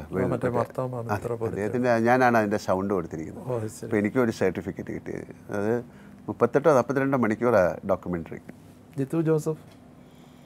ജിത്തു വളരെ എന്താണ് ജിത്തുവിന്റെ സിനിമ എന്ന് പറയുന്നത്? ഒരു പക്ഷേ മലയാള സിനിമ ഈ കോവിഡ് സമയത്ത് ആയതുകൊണ്ടായിരിക്കും. ഒരു ഇന്ത്യ മുഴുവൻ എത്തിച്ച ഒരു സംവിധായകനാണ് ദൃശ്യം എന്നുള്ള സിനിമ. അതെല്ലാ ഭാഷകളിലേക്കും പോയി. വളരെ ഒരു പ്രത്യേകതയുള്ള ഡയറക്ടറാണ്. മോർ ഓഫ് ഒരുപാട് ഭാഷകളിൽ ആ സിനിമ വന്നു. എല്ലാ ഭാഷയിലും വന്നു. നമ്മൾ ചൈനീസ് ഭാഷയിൽ വന്നു. സിംഗ്ലീഷിൽ വന്നു. അത് പിന്നെ കൊറിയയിൽ ചെയ്യാൻ പോവാണ്. ദൃശ്യത്തെക്കുറിച്ച് പറയുമ്പോൾ ഈ ഈ സിനിമ എന്ന് പറയുന്ന ഒരു മേക്ക് ബിലീഫാണ് അതിൽ ചില പ്രേക്ഷകർ പക്ഷേ അത് അത് ശരിയായി ഉൾക്കൊള്ളുമെന്നും അതിലെ ക്രൈം അനുകരിക്കാൻ നോക്കുന്നു എന്നൊക്കെ ചിലർ വിമർശിച്ചു. അതിനെക്കുറിച്ച് എന്ത് പറയുന്നു? അങ്ങനെ ആ സിനിമയിലല്ലേ പറ്റുള്ളൂ. ഇപ്പോൾ അങ്ങനെ പോലീസ് വിളിക്കില്ലേ? ഇപ്പോൾ ചൈനയിൽ ആ സിനിമ അയാൾ പോയി സറണ്ടർ ചെയ്യേണ്ടി വന്നു. അവരവിടെ പോലീസിനെ പറ്റിക്കാൻ സമ്മതിക്കില്ല. ആ- സിനിമയുടെ ക്ലൈമാക്സ് അയാൾ ഞാനാണ് ചെയ്തതെന്ന് സമ്മതിച്ചത്. സമ്മതിച്ചു ഇപ്പം ഇപ്പം എന്താണ് ബദ്രന്റെ ഭദ്രന്റെ സ്ഫടികം കണ്ടിട്ട് ആൾക്കാരെ മുണ്ടടിച്ചിട്ട് പോലീസിനെ പിടിച്ചു എന്നൊക്കെ കഥകൾ കേട്ടിട്ടുണ്ട്. അവരെ പിടിച്ച് ഇടിച്ച് അല്ലെങ്കിൽ പോലീസ് സ്റ്റേഷൻ കൊണ്ടുപോയില്ലേ? അപ്പോൾ അതൊക്കെ അതിന്റെ ഇൻഫ്ലുവൻസ് കൊണ്ട് ഒരു ക്രൈം ഉണ്ടാകാം ചിലപ്പോൾ ഉണ്ടാകാം അത്യപൂർവമായിട്ടൊക്കെ ഉണ്ടാകാം. ചില ബാങ്ക് റോബറികളൊക്കെ ഉണ്ടായി എന്നൊക്കെ ചില കഥകളുണ്ട്. അല്ലെങ്കിൽ അത്തരം ബാങ്ക് റോബറിന്ന് സിനിമകൾ ഉണ്ടായിട്ടുണ്ട്. തിരിച്ചാണ് കൂടുതൽ. ഇപ്പോൾ ജഗതി ശ്രീകുമാർ. എന്താ പറയുക അദ്ദേഹത്തിന്റെ ഒരു അഭിനയത്തിലൊരു വിശ്രമം വന്നത് ഭയങ്കര സങ്കടമാണ്. ഇനി അങ്ങനെ ഞാനും നമ്മൾ ചേട്ടനായിട്ട് ചെയ്ത എത്രയോ കഥാപാത്രങ്ങൾ. നമ്മുടെ ഒരു ടോം ആൻഡ് ജെറി പോലെയാണ് ഞങ്ങൾ പല സിനിമകളിൽ അഭിനയിച്ചിരുന്നത്. അതൊക്കെ നമുക്ക് ആലോചിക്കാൻ പോലും ഇപ്പം ഈയിടെ ഞങ്ങളുടെ ഒരു ഫങ്ഷൻ അദ്ദേഹം വന്നിരുന്നു. വേറൊരു ആളായി മാറിപ്പോയി. വേണു നാഗവള്ളി. ഒരു ജമ എന്താ പറയുക ഞാൻ നേരത്തെ പറഞ്ഞില്ലേ ഇവരൊക്കെ പോയി പോയപ്പോഴാണ് ഭയങ്കര ഈ എന്താണ് ഒരു വാക്വം ക്രിയേറ്റ് ചെയ്തതെന്നൊക്കെ പറയുന്നതാണ്. ഒന്നാമത് തിരുവനന്തപുരത്ത് വരുമ്പോഴാണ് അത് കൂടുതൽ നമുക്ക് തോന്നുന്നത്. ഇപ്പോൾ വേണുചേട്ടനായാലും മറ്റേ വേണുചേട്ടനായാലും ജഗദീഷ് ശ്രീകുമാറൊക്കെ ലോഹിതദാസ് എന്താ ഞങ്ങളുടെ അമ്മയുടെ ഒരു ജനറൽ ബോഡി മീറ്റിങ്ങിലാണ് പെട്ടെന്ന് അദ്ദേഹം നമ്മളെ വിട്ടുപോകുന്നത് അതെ. അവർക്കൊക്കെ ഒരു നാടകത്തിന്റെ ഇൻഫ്ലുവൻസിൽ നിന്ന് സിനിമയിൽ വന്നതാണ്. അപ്പോൾ അതുകൊണ്ട് ഒരു പ്രത്യേക കമ്മിറ്റ്മെന്റ് ഉണ്ട്. സ്ക്രിപ്റ്റിങ് കാര്യങ്ങൾ അതിലൊക്കെ. അത് എത്ര നല്ല സിനിമകളാണ്. എന്റെ എന്താണ് ഹിസൈനസ് അബ്ദുള്ള മുതൽ ഭരതം കമിലദളം ധനം അങ്ങനെ എത്ര സിനിമകളാണ്. അവരൊക്കെ ഈ ഞാൻ പറഞ്ഞല്ലോ ഇതൊക്കെ ഈ പുതിയ ആക്ടേഴ്സിന് എന്താണ് എന്ന് ചോദിച്ചപ്പോൾ ഇത് ഇവരുടെയൊക്കെ അഭാവമാണ്. ഇതുപോലുള്ള ആൾക്കാർ വരണം. എന്നാൽ മാത്രമേ നല്ല കഥാപാത്രങ്ങൾ ഉണ്ടാവുള്ളൂ ഇത് നമ്മൾ ചെയ്തിട്ട് ആൾക്കാർക്ക് ഇഷ്ടമായി ഇപ്പം അങ്ങ് ഈ പറഞ്ഞ കഥ സിനിമകളൊക്കെ അത്തരം സിനിമകളില്ലെങ്കിൽ എനിക്ക് ഇവിടെ നിന്ന് സംസാരിക്കാൻ പറ്റില്ല. ലാൽ സാറിനെ സംബന്ധിച്ചിടത്തോളം നീണ്ട ലോങ് സ്റ്റാൻഡിങ് ഫ്രണ്ട്ഷിപ്പിന്റെ ആളാണ്. ആ ഒരു പഠിക്കുന്ന കാലം തൊട്ടുള്ള ആൾക്കാർ ഒരുപാട് പേര് ഒപ്പം ഇപ്പോഴും ഉണ്ട്. ശ്രീനിവാസൻ ഈ സിനിമയുടെ തുടക്കം തൊട്ടേ അതിലൊരു വലിയ റോൾ വഹിച്ച ആളാണ് ആ സൗഹൃദത്തിൽ എന്തെങ്കിലും ഉലച്ചിൽ സംഭവിച്ചിട്ടുണ്ടോ? അതോ എനിക്കൊരു ഉലച്ചിൽ സംഭവിച്ചില്ല. അദ്ദേഹത്തിനും പറ്റിയിട്ടില്ല. എന്നാണ് കാര്യം? ഞാൻ ഈ അടുത്ത കാലത്ത് കണ്ടപ്പോൾ ഞങ്ങൾ സംസാരിച്ചപ്പോൾ മനസ്സിലായതാണ്. എന്തോ പറയാൻ ശ്രമിച്ചു. പക്ഷെ അത് വേറൊരു രീതിയിൽ മാറിപ്പോയതായിരിക്കാം. ഒരുമിച്ച് സിനിമ? ഇതുമല്ല. ഒരുമിച്ച് ഞങ്ങൾ സിനിമ ചെയ്യാൻ തയ്യാറായതാണ് ഇപ്പോൾ ഈ വർഷങ്ങൾക്ക് ശേഷം എന്നുള്ളത്. ഇപ്പോൾ പറയാം. അവരുടെ വയസ്സായ ഭാഗം ഞങ്ങൾ ഒരുമിച്ച് ചെയ്യണമെന്നൊക്കെ ആഗ്രഹിച്ചിരുന്നതാണ്. പക്ഷേ ഫിസിക്കലായിട്ട് അദ്ദേഹത്തിന് അത് വയ്യ. അദ്ദേഹത്തിന്റെ മകൻ അതിന് വളരെയധികം താല്പര്യം പ്രകടിപ്പിച്ച് എന്റെ അടുത്ത് വന്ന് കഥ പറഞ്ഞു. അപ്പം ഞാൻ പറഞ്ഞത് എനിക്കതിൽ ഒരു പ്രയാസമില്ല. പക്ഷേ അദ്ദേഹത്തിന്റെ ആരോഗ്യസ്ഥിതി അങ്ങനെ ഒരു ആക്ടറിന് ആരോഗ്യം എന്ന് പറയുന്നത് വലിയ കാര്യമാണ്. ആരോഗ്യം ഉണ്ടെങ്കിൽ നൂറ് വയസ്സായാലും അഭിനയിക്കാം. Clean Clint Eastwood. എത്ര ഇപ്പോഴും ഡയറക്റ്റ് ചെയ്യുന്നില്ലേ? അപ്പോൾ ആരോഗ്യം ഇല്ല അദ്ദേഹത്തിന്. അത് ഒരു മോശമായിട്ട് പറഞ്ഞില്ല അനാരോഗ്യമാണ് ആരോഗ്യം ഇല്ലെന്നുള്ളത് സത്യമാണ്. അപ്പോൾ ഈ ട്രാവൽ ചെയ്യണം കാർ ഓടിക്കണം ഒരുപാട് കാര്യങ്ങളുണ്ട്. അതൊക്കെ സാധിക്കുമോ എന്ന് ചോദിച്ചപ്പോൾ പിന്നെയാണ് പറഞ്ഞത് ശരിയല്ല. അദ്ദേഹത്തിന് ഞാൻ ഈയിടെയും കണ്ടു. പണ്ടും ഞാൻ ശ്രീനിവാസിനെ എല്ലാ ദിവസവും വിളിക്കുകയോ ഫോൺ ചെയ്യാറോ ഒന്നുമില്ല. പക്ഷേ അദ്ദേഹത്തിന് എല്ലാ കാര്യവും ഞാൻ അന്വേഷിക്കാറുണ്ട്. സത്യേട്ടനായിട്ട് സത്യനന്ദിക്കാടായിട്ടോ പ്രിയദർശനായിട്ടോ അല്ലെ അദ്ദേഹത്തിന്റെ മകനായിട്ടോ എപ്പോഴും എന്റെ വീട്ടിൽ വരുന്ന കുട്ടികളാണ് അവർ അപ്പുമായിട്ടൊക്കെ വളരെയധികം ബന്ധത്തിലുള്ളതാണ്. എന്റെ വൈഫുമായിട്ടും ഒക്കെ അവർ ഒന്ന് ഭക്ഷണം കഴിക്കുകയൊക്കെ ചെയ്യുന്നതാണ്. അപ്പോൾ എനിക്കങ്ങനെ പ്രത്യേകിച്ച് അദ്ദേഹത്തിനോട് ഒരു തരത്തിലുള്ള നീരസം എന്തിനാണ് അങ്ങനെ നീരസം കൊണ്ട് നടക്കുന്നത്? നമുക്ക് നീരസം കൊണ്ട് നടന്നാൽ നമുക്കാണ് ബുദ്ധിമുട്ടുണ്ടാകുന്നത്. നമുക്ക് നീരസം ഇല്ലെങ്കിൽ ഒരു കുഴപ്പമില്ല. വ്യക്തിയുടെ കാര്യം ചോദിച്ചപ്പോഴാണ് എം പി സനൽകുമാർ. ആ. എന്താണ് ജീവിതത്തിൽ? നമുക്ക് ജീവിതത്തിൽ ചില ആൾക്കാരെ എന്താ പറയണ്ടേ അതിപ്പോൾ നമ്മുടെ അമ്മ അല്ലെങ്കിൽ ഭാര്യ സഹോദരൻ എന്നൊക്കെ പറയുന്നത് നമുക്ക് കിട്ടുന്ന പോലെയാണ്. അദ്ദേഹം എന്റെ ഒരു സഹോദരൻ പോലെ ഞാൻ കണക്കാക്കുന്ന ഒരാളാണ്. അല്ലെങ്കിൽ എന്നെ അതുപോലെ കണക്കാക്കുന്ന ആളാണ്. എന്റെ ഓഡിറ്ററാണ് പക്ഷേ അതിൽ കൂടുതൽ നമ്മുടെ പേഴ്സണൽ ലൈഫിൽ ഒരുപാട് ഒപ്പം നിൽക്കുന്ന ആളാണ്. ഒപ്പം നിൽക്കുക എന്ന് പറയുന്നത് ശരിയായ കാര്യങ്ങൾക്ക് മാത്രം. അങ്ങനെയും കൂടെ ഉണ്ടല്ലോ. എല്ലാത്തിനും ഒപ്പം നിൽക്കുന്ന ആളാണെങ്കിൽ അല്ല അത് ഒരു നമ്മളിൽ ഒരു വീഴ്ച വന്നാൽ അത് വീഴ്ചയാണെന്ന് പറഞ്ഞ് മനസ്സിലാക്കി തരിക എന്ന് പറയുന്നതാണല്ലോ ഒരു സുഹൃത്ത്. അപ്പോൾ ഭാര്യയുടെ ഒരു പിന്തുണ എല്ലാവരുടെയും ജീവിതത്തിന്റെ ഒരു വലിയ പിന്തുണ ഭാര്യയാണ്. ലാലേട്ടന്റെ ഒരു സിനിമാ ലോകത്തു നിന്ന് തന്നെ ഒരു വലിയ നിർമ്മാതാവ് സിനിമയായിട്ടൊന്നും വലിയ കണക്റ്റഡ് അല്ല. കാര്യം ഒന്നും അധികം അന്വേഷിക്കാറില്ല. നമ്മുടെ സിനിമകൾ കാണും. അഭിപ്രായം പറയൂ.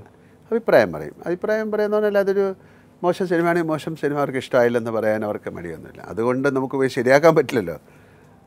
അവർ കൂടുതലും അവർ ഫാമിലി ഓറിയന്റഡ് ആണ്. കുട്ടികളുടെ കാര്യവും കാര്യങ്ങളൊക്കെ ആയിട്ടാണ്. നമുക്കതിലൊരു നമ്മുടെ സിനിമാ ജീവിതത്തിൽ ഒരു ട്രബിളും തരാത്ത സിനിമാ ജീവിതം എന്ന് പറഞ്ഞാൽ ട്രബിളാണല്ലോ. ഒരുപാട് ട്രബിളുകൾ ഉണ്ടാകുന്നതിൽ അതിന്റെ കൂടെ ഒരു ട്രബിൾ തരാത്ത ഒരാളാണ്.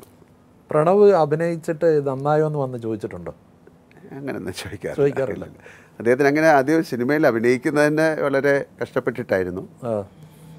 അവർ വേറൊരു തരത്തിൽ സഞ്ചരിക്കുന്നവരാണ്. ഞാൻ എനിക്ക് ആ പ്രായത്തിൽ അങ്ങനെയൊക്കെ തോന്നിയിരുന്ന ഒരാളാണ് ഞാൻ.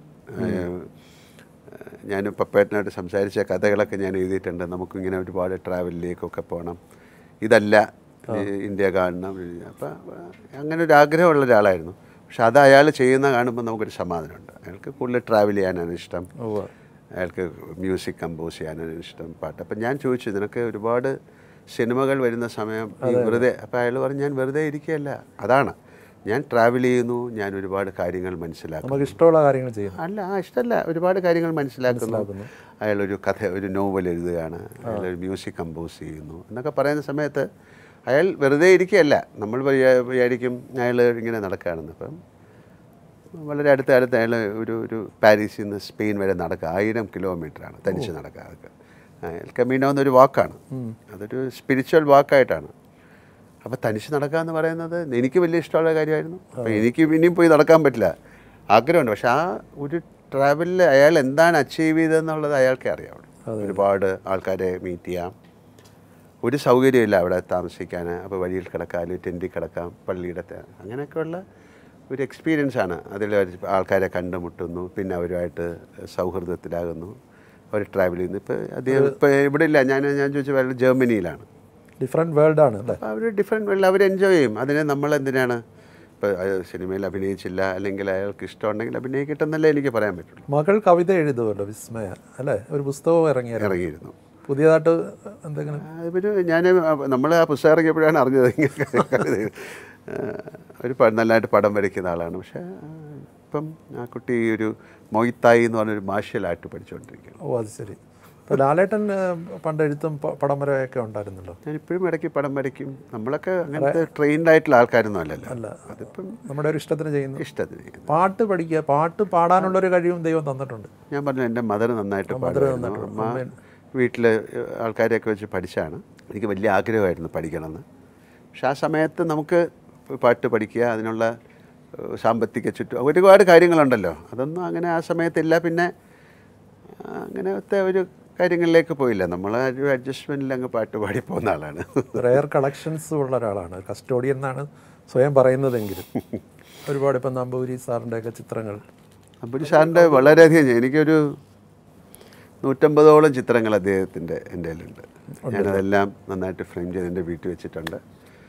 ഒരുപാട് ചിത്രങ്ങൾ എനിക്കുണ്ട്. അപ്പോൾ എനിക്കൊരു വലിയ ആഗ്രഹമാണ് എനിക്കതൊരു ഒരു മ്യൂസിയമായിട്ട് ചെയ്യണം എന്നുള്ളത്. അത് ഒരു ഒരു അത് നടക്കണം. അതൊരു എന്റെ മാത്രമല്ല മലയാള സിനിമയുടെ ഒരു മ്യൂസിയം ചെയ്യണമെന്ന് ആഗ്രഹമുണ്ട്. ആ അതിന്റെ കൂടെ നമ്മുടെ സിനിമകൾ ക്ലാസിക്കുകൾ ഒരു ലൈബ്രറി എന്റെ കളക്ഷൻസ്. കാര്യം ഇത് ഒരു ഈ ആർട്ടിഫാക്ട്സ് അല്ലെങ്കിൽ ഇത്തരം കാര്യങ്ങളൊരു ട്രാവലിലൂടെയാണ് ഇത് വേറൊരാളുടെ കയ്യിലേക്ക് പോകും. അങ്ങനെയാണ്. പിന്നെ നമ്മുടെ അല്ലെങ്കിൽ നമ്മുടെ കുട്ടികൾക്കൊക്കെ അതിൽ വലിയ താല്പര്യം ഉണ്ടാകണം. അപ്പോൾ അവർക്കൊന്നും അങ്ങനെ ചിത്രത്തിലൊന്നുമല്ല. നമുക്ക് അതിലൂടെ ഒരു താല്പര്യമുണ്ട്. അപ്പോൾ എന്റെ ചിലപ്പം ഒരു പക്ഷേ ബിഗസ്റ്റ് പെയിന്റിങ് എന്റെ കയ്യിലുണ്ടാകാം ബിഗസ്റ്റ് സ്റ്റാച്യൂസ് എന്റെ കയ്യിലുണ്ട്. ഉം, ഒക്കെ ഡോക്യുമെന്റ് ചെയ്തിട്ടുണ്ട്. അപ്പോൾ അതൊക്കെ ഓരോ സ്ഥലങ്ങളിൽ ഇരിക്കുകയാണ്. അതിപ്പം എല്ലാവരും ആ എല്ലാം അങ്ങനെ അതങ്ങ് പോകും അപ്പോൾ അതിനെ ഇവിടെ എല്ലാ സ്ഥലത്തേക്ക് കൊണ്ടുവരണം എന്ന് ഒരു വലിയ ആഗ്രഹമുണ്ട്. അത് ഒരു വളരെ അടുത്ത കാലത്ത് അത് ചെയ്യണം. അത് മലയാള സിനിമയ്ക്ക് പോലും അങ്ങനത്തെ ഒരു ഡോക്യുമെന്റേഷൻ ഒന്നുമില്ല. അപ്പോൾ നമുക്ക് പറ്റുന്ന രീതിയിൽ നമ്മൾ ഒരു ഇൻഡസ്ട്രിയിൽ വർക്ക് ചെയ്തിട്ട് അവർക്ക് തിരിച്ചെന്തെങ്കിലും കൊടുത്തിട്ട് പോകണം. അപ്പോൾ അത് നല്ല രീതിയിൽ ചെയ്യാവുന്ന ഒരു കാര്യമായിട്ട് തോന്നി. അപ്പോൾ അത് നല്ലൊരു സ്ഥലത്ത് തുടങ്ങണം. ആൾക്കാർക്കൊക്കെ കാണാൻ വരാനും അല്ലെങ്കിൽ സിനിമയെക്കുറിച്ച് പഠിക്കുന്ന ആൾക്കാർക്ക് വന്ന് അപ്പോൾ ഒരു ലൈബ്രറി ഉണ്ടാക്കാം. എന്തായിരുന്നു മലയാള സിനിമയുടെ ഒരു ട്രാവൽ ഭയങ്കരമല്ലേ? ഒരു ധൈര്യം എന്ന് പറയുന്ന അന്ന് തുടങ്ങിയത് അതിന്റെ ഒരു ഹിസ്റ്ററി കാര്യങ്ങൾ ആക്ടേഴ്സ് ഇപ്പം ഒരുപാട് പേർക്ക് പലരെ അറിയില്ല.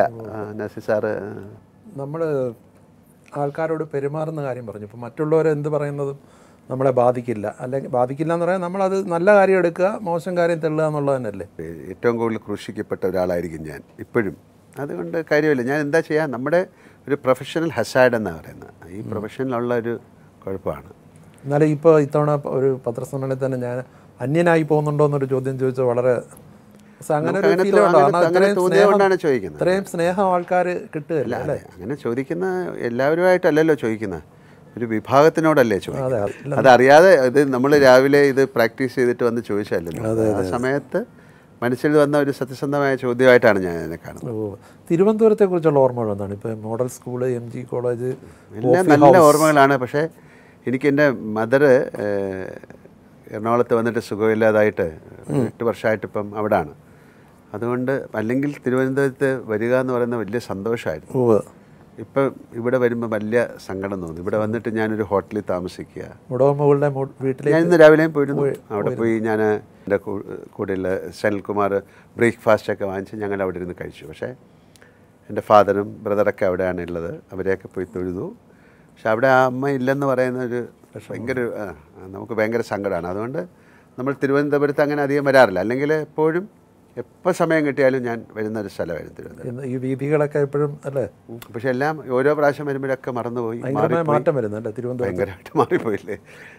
ഭയങ്കരമായിട്ട് മാറി. പക്ഷേ എപ്പോഴെങ്കിലും പോകുമ്പോൾ ഞാൻ നമ്മുടെ സ്കൂൾ വഴിയൊക്കെ ഒന്ന് കാറിൽ പോയി ഒന്ന് ഒരു താങ്ക്സ് ഒക്കെ പറഞ്ഞിട്ട് പോകാം. ടെറിട്ടോറിയൽ ആർമിക്ക് എന്നുള്ള അതിലും ഒരു ഉന്നത പദവി വഹിക്കുന്നുണ്ടല്ലോ. അതിനു വേണ്ടിയുള്ള സമയം പ്രവർത്തനത്തിനൊക്കെ ഒരിടയ്ക്ക് വിളിക്കുമ്പോൾ പോകുക അങ്ങനെയാണോ? ഞാൻ എല്ലാ വർഷവും പോകുമായിരുന്നു. ഈ കോവിഡ് ആയതുകൊണ്ട് ഞാൻ പോയിരുന്നില്ല. കാര്യം അത് അവർ വേണ്ടാന്ന് പറഞ്ഞു. അല്ലെങ്കിൽ നമ്മുടെ വൺ ഡബിൾ ടു ടി എന്ന് പറയുന്ന കേരളത്തിലെ കണ്ണൂരായിരുന്നു ഇപ്പോൾ അത് കാലിക്കറ്റിലേക്ക് മാറി. ഇത് മദ്രാസ് റെജിമെന്റെ കീഴിലുള്ളതാണ്. ഞാൻ പലപ്പോഴും പോയിരിക്കുന്നത് ജമ്മുവിലായിരുന്നു. ഗറോട്ട എന്നൊക്കെ ഉള്ള സ്ഥലത്താണ്. ജമ്മുവിന്റെ ഭാഗത്തൊക്കെ ബോർഡറിൽ ഞാൻ പോകുമായിരുന്നു ഇവരുടെ കൂടെ പോകും അവരുടെ കൂടെ നിൽക്കും സംസാരിക്കും. എനിക്ക് പിന്നെ ഒരു ആർമിയുടെ സൈറ്റുണ്ട്. ഉണ്ട് അപ്പോൾ അതിൽ എങ്ങനെയാണ് ആർമി അല്ലെങ്കിൽ എയർഫോഴ്സ് നേവിയിൽ ജോയിൻ ചെയ്യുന്നത് അതിന്റെ ഉള്ള കാര്യങ്ങളൊക്കെ അതിൽ പോയാൽ നോക്കാം. അതിൽ ഒഴിവുകൾ എങ്ങനെയാണെന്ന് ഒരു സൈറ്റുണ്ട്.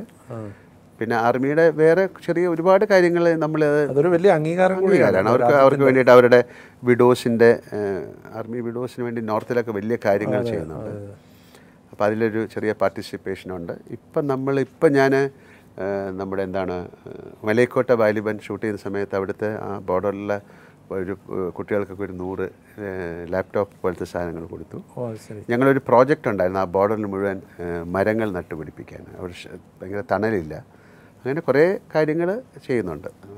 അല്ലാതെ ഇതൊരു എന്താ പറയുന്ന ഒരു ഒരു ഗുഡ് വിൽ അംബാസഡറാണ് അപ്പം നമുക്ക് അങ്ങനെ റിട്ടയർ വയനാട്ടിലും നടന്ന എനിക്ക് അവരെ അവിടെ പോയി കാണാം. അവരുടെ അതിൽ പോകണം. അവർ ഷിഫ്റ്റ് ചെയ്തതിന് ശേഷം ഞാൻ അതിന്റെ അകത്ത് പോയിരുന്നു. അവർ ആൾക്കാരെ പോയി കണ്ടു. ഇപ്പോൾ ഇനി അവർ കാശ്മീരിലേക്ക് പോവാണ്. ശ്രീനഗർ. അപ്പോൾ അടുത്ത അല്ലെങ്കിൽ വേറെ പല ബോർഡറിലേക്കൊന്നും എനിക്ക് പോകേണ്ട സമയമായിരുന്നു. അപ്പം അവർ പോവുക അവരുമായിട്ട് നിൽക്കുക അവരുമായിട്ട് സംസാരിക്കുക. നമ്മൾ ആ ചേർന്ന സമയത്ത് ഒരു twenty five to forty percent hike ഉണ്ടായി അപ്പോൾ അതിൽ ഇപ്പം ഇങ്ങനെ സംസാരിച്ചുകൊണ്ട് പറയാം. ഈ പോകുന്ന സമയത്തൊക്കെ ഒരു ഞാൻ ഇപ്പോൾ പതിനേഴ് വർഷമായി പതിനാറ് വർഷമായി പോകുന്ന സമയത്ത് ഇപ്പോൾ പുതിയതായിട്ട് വന്ന ക്യാപ്റ്റൻ അങ്ങനെ കുറച്ച് ആൾക്കാരൊക്കെ വന്നിട്ട് സല്യൂട്ട് ചെയ്തു. സാർ നിങ്ങൾ കാരണമാണ് ഞാൻ ഈ ആർമിയിൽ വന്നത്. നിങ്ങളുടെ സിനിമ കണ്ടിട്ടാണ് ചേട്ടനാ. അപ്പോൾ അതൊരു ഇൻസ്പിറേഷൻ അതാണ് അവർക്ക് വേണ്ടത്. അതെ അതെ. അപ്പം കഴിഞ്ഞ ദിവസം ശ്രീകുമാരൻ തമ്പി സാറിന്റെ പേരിലുള്ള അവാർഡ് സ്വീകരിച്ച് ആ വേദിയിൽ സംസാരിക്കുക മുഖ്യമന്ത്രി പറഞ്ഞൊരു കാര്യമുണ്ട്. ശ്രീ മോഹൻലാലിനോട് കേരളം കടപ്പെട്ടിരിക്കുന്നു.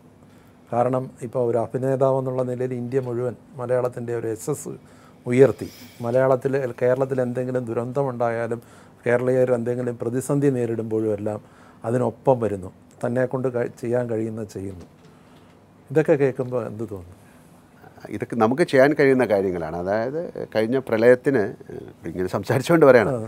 ഈ വയന പിന്നെ നോർത്ത് മലബാറിൽ അങ്ങോട്ട് പോകാൻ പറ്റാത്ത എത്രയോ സ്ഥലങ്ങൾ ഊരുകളിലൊക്കെ ഏറ്റവും കൂടുതൽ ട്രാവൽ ചെയ്ത വിശ്വശാന്തിയിലുള്ള കുട്ടികളാണ്.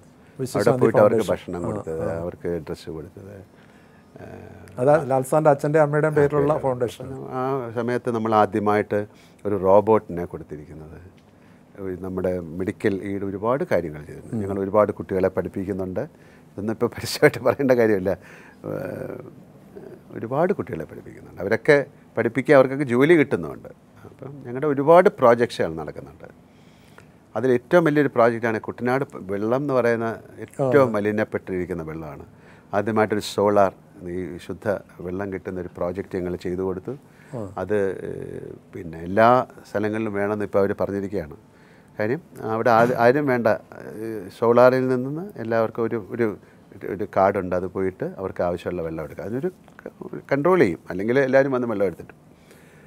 അപ്പോൾ അങ്ങനത്തെ ഒരുപാട് കാര്യങ്ങൾ ചെയ്യണം. നമ്മൾ തീർച്ച ഈ സൊസൈറ്റിക്ക് നമ്മളാൽ കഴിയുന്ന കാര്യങ്ങൾ ചെയ്യണം. ചെയ്യുന്നു ബറോസ് വൻ വിജയമായി മാറട്ടെ. അങ്ങയുടെ നാക്ക് പൊന്നായിരിക്കട്ടെ. ഇന്ത്യൻ സിനിമയുടെ അഭിമാന സ്തംഭമായി പുറം രാജ്യങ്ങളിലും അത് ആ സിനിമ പ്രശസ്തി നേടട്ടെ. വളരെ സന്തോഷം. എല്ലാ ഓണാശംസകളും. എല്ലാവർക്കും ഇത് കണ്ടിരിക്കുന്ന പ്രേക്ഷകർ കേരള കൗമുദി ടി വിയുടെ പ്രേക്ഷകർക്ക് ഹൃദയം നിറഞ്ഞ ഓണാശംസകൾ. എല്ലാവർക്കും ഇവിടെ കൂടിയിരിക്കുന്ന അങ്ങേക്കും ഇത്രയും നല്ല ഒരു ഇന്റർവ്യൂ ചെയ്ത് അങ്ങേക്കും. Thank you very much thank you